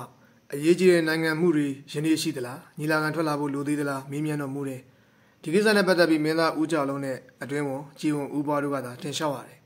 အကြောင်းကဘင်းအဘတို့ကိုတိုက်ရိုက်ဝင်ထွက်မျက်နှာတော်မိအောင်ဒီနှစ်ဦးသာဝင်ရလို့ဖြစ်ပါတယ်တခြားအရာရှိကြီးတွေပါဝင်ခွင့်မရဘူးစီးရေးနိုင်ငံရေးမှတပါတခြားသောပြည်တွင်းကိစ္စတွေကိုများသောအားဖြင့်ဦးကြလုံးနဲ့ဦးပွားတို့ခြေလေသမျှတခြားရာရှိကြီးငယ်တွေလိုက်နာကြရတယ်။တက္ကမင်းကတခါတရံမှသာညီလာခံထွက်တော်မူတယ်။ နောက်ပိုင်းမှာဦးပွားရဲ့အိမ်မှာပဲညီလာခံကျင်းပတော့တယ်။ဦးပွားရဲ့ညီလာခံမဝင်တဲ့အလွတ်ရာရှိတွေကအနှိမ့်ဆက်ခံရပါတယ်။ပမာပြရရင်တော့တာသမန်အင်းမာရေခမ်းချောက်ပြီးငါးရီပေါ်နေတာကိုလူတွေကိုဖမ်းခွင့်မပေးဘဲနဲ့ဘေးမဲ့ပေးထားတယ်။ဝန်ထောက်တယောက်နဲ့နာဂန်တော်တယောက်ကအဲ့ဒီဘေးမဲ့ပေးထားတဲ့ငါးရီကိုဖမ်းတယ်လို့ဦးပွားကတင်လျှောက်တဲ့အတွက်အဲ့ဒီဝန်ထောက်နဲ့နာဂန်တို့ခမညာယာတုကလည်းအနှုတ်ခံရမှာမကထောင်ချခံကြရသေးတယ်တကယ်တော့ဒီနှစ်ယောက်ကဥပွားစီကိုအခါစားမဝင်လို့သာဖြစ်ပါတယ်အဲ့ဒီနေ့ကရှင်ပြန်ညီလာခံထွက်တော်မမူတော့တတရအောင်ဝန်ကြီးတွေကရှောက်ထားခွင့်မရလိုက်ကြဘူး ဦးကြလုံးနဲ့ဦးပွားတို့အမိန့်တော်ပြန်သမျှကိုသာခံကြရတယ်ဒီလိုနဲ့ဦးပွားစီကိုမကမ်းညွတ်တဲ့လွတ်တော်အရာရှိတွေပျက်စီးကြရတယ်ပကံမင်းရဲ့အိမ်တော်ပါကျွန်ဖြစ်တဲ့ပိုင်ဆက်ကလက်ရည်တွေပဲဖြစ်လာတယ်သူကဒရိစန်တိုက်ပွဲဒီမှာဘယင်နိုင်ယာနိုင်ချောင်းဆောင်ရွက်ပေးနိုင်တဲ့အတွက်သူ့ဩဇာကြီးမားလာတယ်ဘယင်ကသူ့ကိုအမရပူရမြို့ဝန်ခန့်တယ်ပိုင်ဆက်ကသူ့တပည့်တွေကိုယာရုတွေပေးပြီးတော့မှချီးမြှောက်ပါတယ်ဥပိန်ကမြို့စည်းရွှေဘော်ကတကနီမူငမုံကဈေးကောင်ငရှင်ကလေးကထန်ကောင်စသဖြင့်ယာရုရကြတယ်။ဘိုင်ဇက်ကမြို့စည်းဥပိန်နဲ့ပူပေါင်းပြီးတော့မှ မြို့အုပ်ချုပ်ရေးကိုကြပြောင်းကြပြန်လုပ်တယ်။တားပြသမီးပြတွေကိုဖျက်ဆီးတဲ့အထိသူတို့ကျူးလွန်လာတယ်။ပြည်သူတွေကိုမြို့မြို့နှိပ်စက်တော့ပြည်သူလူထုအများစုကများစွာပဲအတိဒုက္ခရောက်ကြရပါတယ်။အဲဒီကဗကံမင်းကိုနန်းတင်ပေးခဲ့တဲ့ဝန်ကြီးဦးချာဦးကဗကံမင်းပေါ်မှာနာကြီးလာတော့တယ်။ဗကံမင်းနန်းတက်ပြီးမကြခင်မှာပြည်မင်းသားရဲ့သားတော်ကလေးထိတ်တင်တုံတဲ့အထင်းတော်ကြီးမငိမ့်တာတို့ကိုဘိုင်ဆက်လက်ပါစီတွေကဖမ်းမိလာကြတယ်။ဒီတရင်ကိုစัจ जा ဒေဝီရဲ့အဆောင်တော်မှာခိုးလုံနေကြတဲ့ဆွေတော်မျိုးတော်တွေကြားသိရတယ်။ချထက်တီတို့ရဲ့မဲတော်ပြည်တီတာကသားတော်ကလေးအတွက်ရတက်မအေးဖြစ်ရတယ် ဆိုရင်ပူပန်လုံးတဲ့အတွက်မူမိမတက်ဖြစ်သွားရတယ်ဒီဒီချိန်မှာလည်းသူတို့ဘာအသက်သွေးခဲကိုတီမြဲအောင်ဆောင်ရွက်ပေးနိုင်သူစကြတေဝီကထက်တီတို့အသက်ချမ်းသာရေးအတွက်ကြံရဖန်ရပြန်တယ်သူကအကိုရင်ပကံမင်းရဲ့တောင်ညာဆန်မိဖုရားကောင်ကြီးမင်းရွှေကျုပ်စကြတေဝီရဲ့ရောင်းမတော်စီကိုအခါစားဝင်ပြီးအခုလိုရှောက်ထားတောင်းပန်တယ်အမတော်ဗျာနက်ပြမနက်ညီလာခံချိန်မှာမြုပ်ဝင်ပိုင်ဆက်ကထက်တီတို့ကလေးကိုလာရောက်အံ့နံပါမယ်အမတော်အချိန်မီကဲတင်ပေးတော်မူပါဗျာကောင်းပြီညီမတော်စိတ်အေးချမ်းသာနေတော်မူပါအမတော်ကိုယ်တိုင်ညီလာခံတက်ပြီးတော့မှဒီကိစ္စဆောင်ရွက်ပေးမယ် မိဘကောင်ကြီးကဒီလိုဂရုပြုလိုက်တယ်နောက်တနေ့ညီလာခံမှာတော့မြုပ်ဝင်ပိုင်ဆက်ကထိတ်တိတုပ်ကလေးကိုတွင်းလာပြီးမျက်နှာမျက်နှာရတင်လျှောက်ပါတယ်ရန်သူတော်ထိတ်တိတုပ်ကိုမိလာပါပြီရှူစားတော်မူပါဗျာဒီမှာပဲမိဘကောင်ကြီးကခက်ပြပြမိန်တော်မူတယ်အလိုဒီကလေးကငါတို့ရဲ့တူတော်လေးပါလားဘယ်မှာရန်သူဟုတ်လို့လဲပိုင်ဆက်ကအလျှော့မပြီးမိဘကောင်ကြီးမိန်တော်မူတာကိုအတိမမပြုတ်ပဲနဲ့ထပ်မံလျှောက်တင်တယ်ရွှေနာဆင်တော်မူပါဗျာကျူပင်ခုတ်ကျုံငုံမကြံစီရတဲ့ကလေးကိုဆင်အောင်တဲ့လမ်းမှာခြာထားလိုက်ုံနဲ့ကိစ္စပြီးပြည့်သွားမှာပါဗျာ။ဖိုင်ဆက်ကမိမြပင်ရှောက်တင်မိမဲ့ မိပြကောင်ကြီးရဲ့သဘောထားကိုပကံမင်းကနားလည်လိုက်တော့အခုလိုအမိန့်ချမှတ်တယ်။အေးဒီကလေးချမ်းသာပါစေကွယ်သူ့ကိုကောင်းကောင်းမွန်မွန်စောင့်ရှောက်ထားလိုက်ပါ။ထိတ်တိတုပ်ကလေးကဒေကံမရောက်လို့တတ်မပြောက်ဘူး။ဖိုင်ဆက်ဆက်ကွင်းကလွတ်ကင်းပြီးမေတော်ပြည်ထေထားနေထိုင်ရာစကြတီဝီအဆောင်တော်ကိုရောက်ရှိလာပါတယ်။ပြည်ထေထားကမသိမပြောက်ပြန်တွေ့ရတဲ့သားတော်ကလေးကိုသူ့ရင်ခွင်ထဲမှာတင်းကျပ်စွာဖတ်ထိုင်းကမျက်ရည်မစဲအောင်ဖြစ်ရတယ်။ဒီမျက်ရည်ကခြေတော်သားတွေလေးကိုပြန်တွေ့ရတဲ့အတွက်ဝမ်းသာလို့ကြားရတဲ့မျက်ရည်ပါ။ထိတ်တိတုပ်ကလေးရောက်လာတဲ့အခါမှာလှိုင်းအဖို့မောင်တယောက်တိုးလာခြင်းပါငါးနှစ်သားပြည့်ထိတ်ထိတ်တုပ်ကလေးကဒီတတပြောတတ်တယ် အမတော်တွေကိုချွန်းညွတ်တတ်တယ်ဒီမောင်ကလေးကိုထင်းချောင်းယူရပိုက်ထွေးနေရတဲ့အခါတွေမှာလှိုင်ကမိမိဘဝဒုက္ခသေးပါလားဆိုတာကိုတော့မှမိပြောင်းမတဲ့စိတ်ရှင်လန်းနေတယ်အခုလိုမင်းမြတ်ဆိုမင်းမြတ်လာတို့လိုဘဝတူမွေးခြင်းမတော်တွေခဏိထိတ်ကောင်းတွင်ဖြည့်ထိတ်ကောင်းတွေလိုမွေးစားညမတော်တွေမောင်လေးထိတ်ထိတ်တုပ်နဲ့အတူစကြတေဝီရဲ့စောင့်ရှောက်မှုအောက်မှာနေလာတဲ့အခါအထီးကျန်မဖြစ်တော့ဘူးသို့တော်လည်းမေတော်မမြကလေးနဲ့ဘွားတော်တို့ကိုမေ့ပြောင်ရနိုင်ပါယူလားသတိရလွမ်းဆွလေတိုင်းမျက်ရည်ဝိုင်းရတဲ့အချင်းချင်းအထူးသဖြင့်ညညဆက်ရဝင်ချိန်မှာတက်မစင်အောင်မျက်ရည်ဖြင်ဖြင်ကြရတယ် အသေးနုနုကလေးမှာခံစားတဲ့ဝေဒနာကိုသိုးဝက်သိမ်းဆဲခြင်းကမဆွမ်းသာတဲ့လိုင်းကသူ့ရဲ့ဇာတ်ကြောင်းမြန်ကြပြလေးတစ်ပုဒ်ကိုအခုလူဖွင့်လွှင့်ဆက်ဆိုတော့တယ်အေယာရီလက်ရထွန်းတဲ့ကျွန်းမဟီဝဲခွန်တီချူမြရွှေရင်တန်ငယ်ကျင်ယာတလို့နွတ်တသိညာတာပေါင်းရဲ့ကျုပါတဲ့မြို့ဟင်းသားမှာကျင်ညာပေါ်တင်စီရင်ရလို့မိတွင်တလီမင်းပြန်ချင်းနဲ့စုံကြီးနှစ်ပါးမဲဤကဖွားပါတဲ့တပားသက်လေးလှပအသွေးမမြကလေးပါတဲ့ကျွန်းမွေးမွေးအရွယ်တော်ရောက်16တွင်ရွှေမောက်ဘုံဘုံခမဲတော်လဲထိုယောကာလခါသမယက ရာဇကုမာဥပယာတို့လူရတင်ရှားဂုံပေါင်းဆိုတဲ့ထိုမင်းသားကစာဝါကြည်ပြူကောက်ယူတော်မူလို့မှုအဒုနဘောဆန်စားကပြောကြရွက်တော်တွက်စစ်28ဝဲငယ်ချစ်တခင်သူထိတ်တင်လဲဘရင်ဧကရနိုင်ငံရှင်ဖြစ်ပါလို့တွဲလဲခဲ့ပြီးသည်နောက်နမ်းမတော်မိဖုရားရေလို့ရှင်ထင်ရှားပြီပရမီဥက္ကဋလူထိတ်တင်ငယ်ဘရင်မြတ်ကထင်မဲ့အသက်ကြီးငယ်တပါမိဖုရားတို့အများတက်ပြီဆုံးမတော်မူလွန်ကြည်ပြူတာကြောင့်နန်းသူနန်းသားမိဖုရားတို့မုံထားမလို့ရန်ညိုးသူလို့ဒင်းကိုမကြအရှင်းလွင့်အောင်နန်းခွင်ကိုရှာကြဘယ်မှမရ ဓမ္မရှင်ငယ်ထိန်ထိန်ပါလို့နမ်းမပုံလည်းပေါ်တင်မမီပျော်ရွှင်ရေးကိုလာရှင်မြင်သေးတယ်30နှစ်6အရွယ်တော်ရောက်ခါမှမောက်လေးတဲ့ကံဘလို့စီမံလေးပြီဘုံရှန်တကင်ရွှေနှန်းရှင်လဲကိုရင်ပြာတိယောဂပြုလို့မှုမချိလျာဒီအခါမှညီညာပေါင်းစုမကောင်းရပြုလို့အမှုစင်ကပြည်မင်းဘက်တွင်ရောက်ချက်ပါလေလို့မညာရက်ဆက်အကြံငယ်ဆိုရန်ညွန်းနေဖြစ်တာကြောင့်အတက်ကကန္နာဘွားတော်ပါကျုံနှစ်ယောက်လုံးမှပြင်ဆုံးဝရှာအမေမင်းချာချာခွေမှုနန်းချမ်းမြေမှာတင်းတင်းလူးလူယူရတော့မယ်လိုက်ကဖိုးဆွေးရှိုက်ခံကိုကြွေးပါတဲ့ကလေးငယ်ကိုမွေးမယ်မြင်လဲပါ အမိုက်ကလေးမှဖြင့်ပိုက်ထွေးသူမဲခဲ့ပေါ့ပြန်ခဲ့ပါအောင်မေဖရားကြီးနင်တို့လူမျိုးအင်မတန်ဆိုးတယ်လို့အညိုးနဲ့မုံရော်သလားမုံဆိုလဲမုံထိုက်ပါရဲ့မေဖရားရဲ့တရားမှရှိကြတာမဟုတ်ပဲကလားရုပ်လဲရုံမှမဟုတ်တာကိုလောက်ကကြရဲ့ညံစိုးတွေဖတ်တာကအသက်တောင်ဆုံးပါမို့လားမုံဖို့စရာမုံထိုက်ပါလို့မုံရှာတော့လဲဒီကကောင်ကပြည့်မေဖရားကြီးချင်းချောင်းလို့လွဲခဲ့ပါအသေးနာဝဲဦးတဆွေလုံးကိုပြည့်မုံတဲ့နေ။အော်မေမေနဲ့သာဘယ်မကွာပဲရတနာဆန်းတွေနန်းရဝေတွင်တန်းရွှေရန်ခစံပေတော်မူကြတော့ကဘဝတွင်တော့ဘလောက်များပြောတယ်လို့ မဲတော်ပိုက်ပွေရွှေရင်ငွေနေဘေကမလင့်သမီးကလေးတယောက်တည်းမို့အားခဲလို့ချစ်ရှာတဲ့အပြစ်ကဲမဆိုနှွဲချင်တိုင်းနှွဲမဲချင်တိုင်းမဲပါလို့ဆိုတဲ့အောင်ကိုစီတော့နှုတ်ချူသားရချုံမြူကနဲ့လူရာကြည့်ရှုမျက်နာချုံငယ်တွေအရေးတော်ပြုခဲ့ကြတယ်ယခုမှမူဘလို့ဆိုလို့ဘသူကမှအရေးပြုလို့မရှိကြပြီဘူးယူရတငယ်ဒီကလေးမှဖြင့်ဝေးတော်တယ်တွေ့တွေ့ဝဝကစားစရာထားလိုက်ရှာတာကကြည်စမ်းပါအောင်များလာပါတယ်ဒီကတော့ရွှေလင်ပန်းဒီတခန်းကတော့ရွှေရုပ်ဖို့ရွှေရုပ်ကလေးတွေကအသွက်သွဲဇေခတ်ဆရာတွေကကြောက်တယ်မလဲများ။ အော်ဟိုတခါကတော့ဟိုအရာတွေနဲ့ကစားရတာပျော်ပါလို့မဆုံးယခုတော့ကြည်စမ်းပါလား။မေတော်ကင်းဝေးတဘာမေးပြီမှုဒါကလေးတွေကမုံကြရော့ထင်နှလုံးမရှင်သူတို့ကိုမြင်ရတာအရင်လိုမဟုတ်ပြောဖို့ရထားပါအောင်စိတ်များတော့ရှုပ်သေးတယ်။ဒီအိုးဘုတ်ကမကြည့်လေဒီရွှေရိုးကမရှင်လန်းဒီလင်မန်းကမကြည့်တာဒီရတနာတွေကမနစ်သက်ကန်ဆိုးရန်အောင်နဲ့တကောင်ကြွတ်မှုအဖက်မတင်အလေးတခုအရင်ငယ်ပြုမရှုကျင်တယ်လို့စိတ်ထင်မှတ်ကသူတို့မုံလဲမုံရတာပေါ့မုံပါပေါ့လေမြူချူမြအပူကိုဆွာတာနဲ့တူလာပြီအမေမင်းဖြီစင်မရနောင်ခါအကြီး မျော်လို့ငယ်တွေဆွေးလာပါပေါ့ညညမဝဲဘသူပင်ဖက်ပါလို့ဆက်ရမယ်ခက်လာတဲ့ဒီကလေးမှဖြင့်ဒီအရေးဒီတွက်တာလိရွှေနှမ်းမြင့်ကနက်ပွေမှာကြက်တီတဘာပြောင်လို့ဇာတိုင်အောင်ကြည်စင်တုံးမှာတော့အုံအုံရဲ့ညံညံတို့လို့ချမ်းရသူချွေရည်ဒီပေါ်လာကြောင့်သဘောတော်တော်ထင်ရမှုခဲ့တယ်ကျင်နာသူခုမှကင်းမိမှုအရှင်းရဲ့ရှင်မပြောဘူးမျက်မေတော့မြန်မြန်ပြေးပါလို့လှိုင်ထိတ်တင်အမိုက်ကလေးကိုလာအမလီပိုက်ထူးတော်မူလေပါဒီကနေ့တင်ဆက်ပေးတဲ့ဝတ္ထုလေးကိုဒီနေရာလေးမှာခိတ္တရန်နာလိုက်ပါတယ်ခင်ဗျဒီကနေ့တင်ဆက်ပေးခဲ့တဲ့ဝတ္ထုလေးကတော့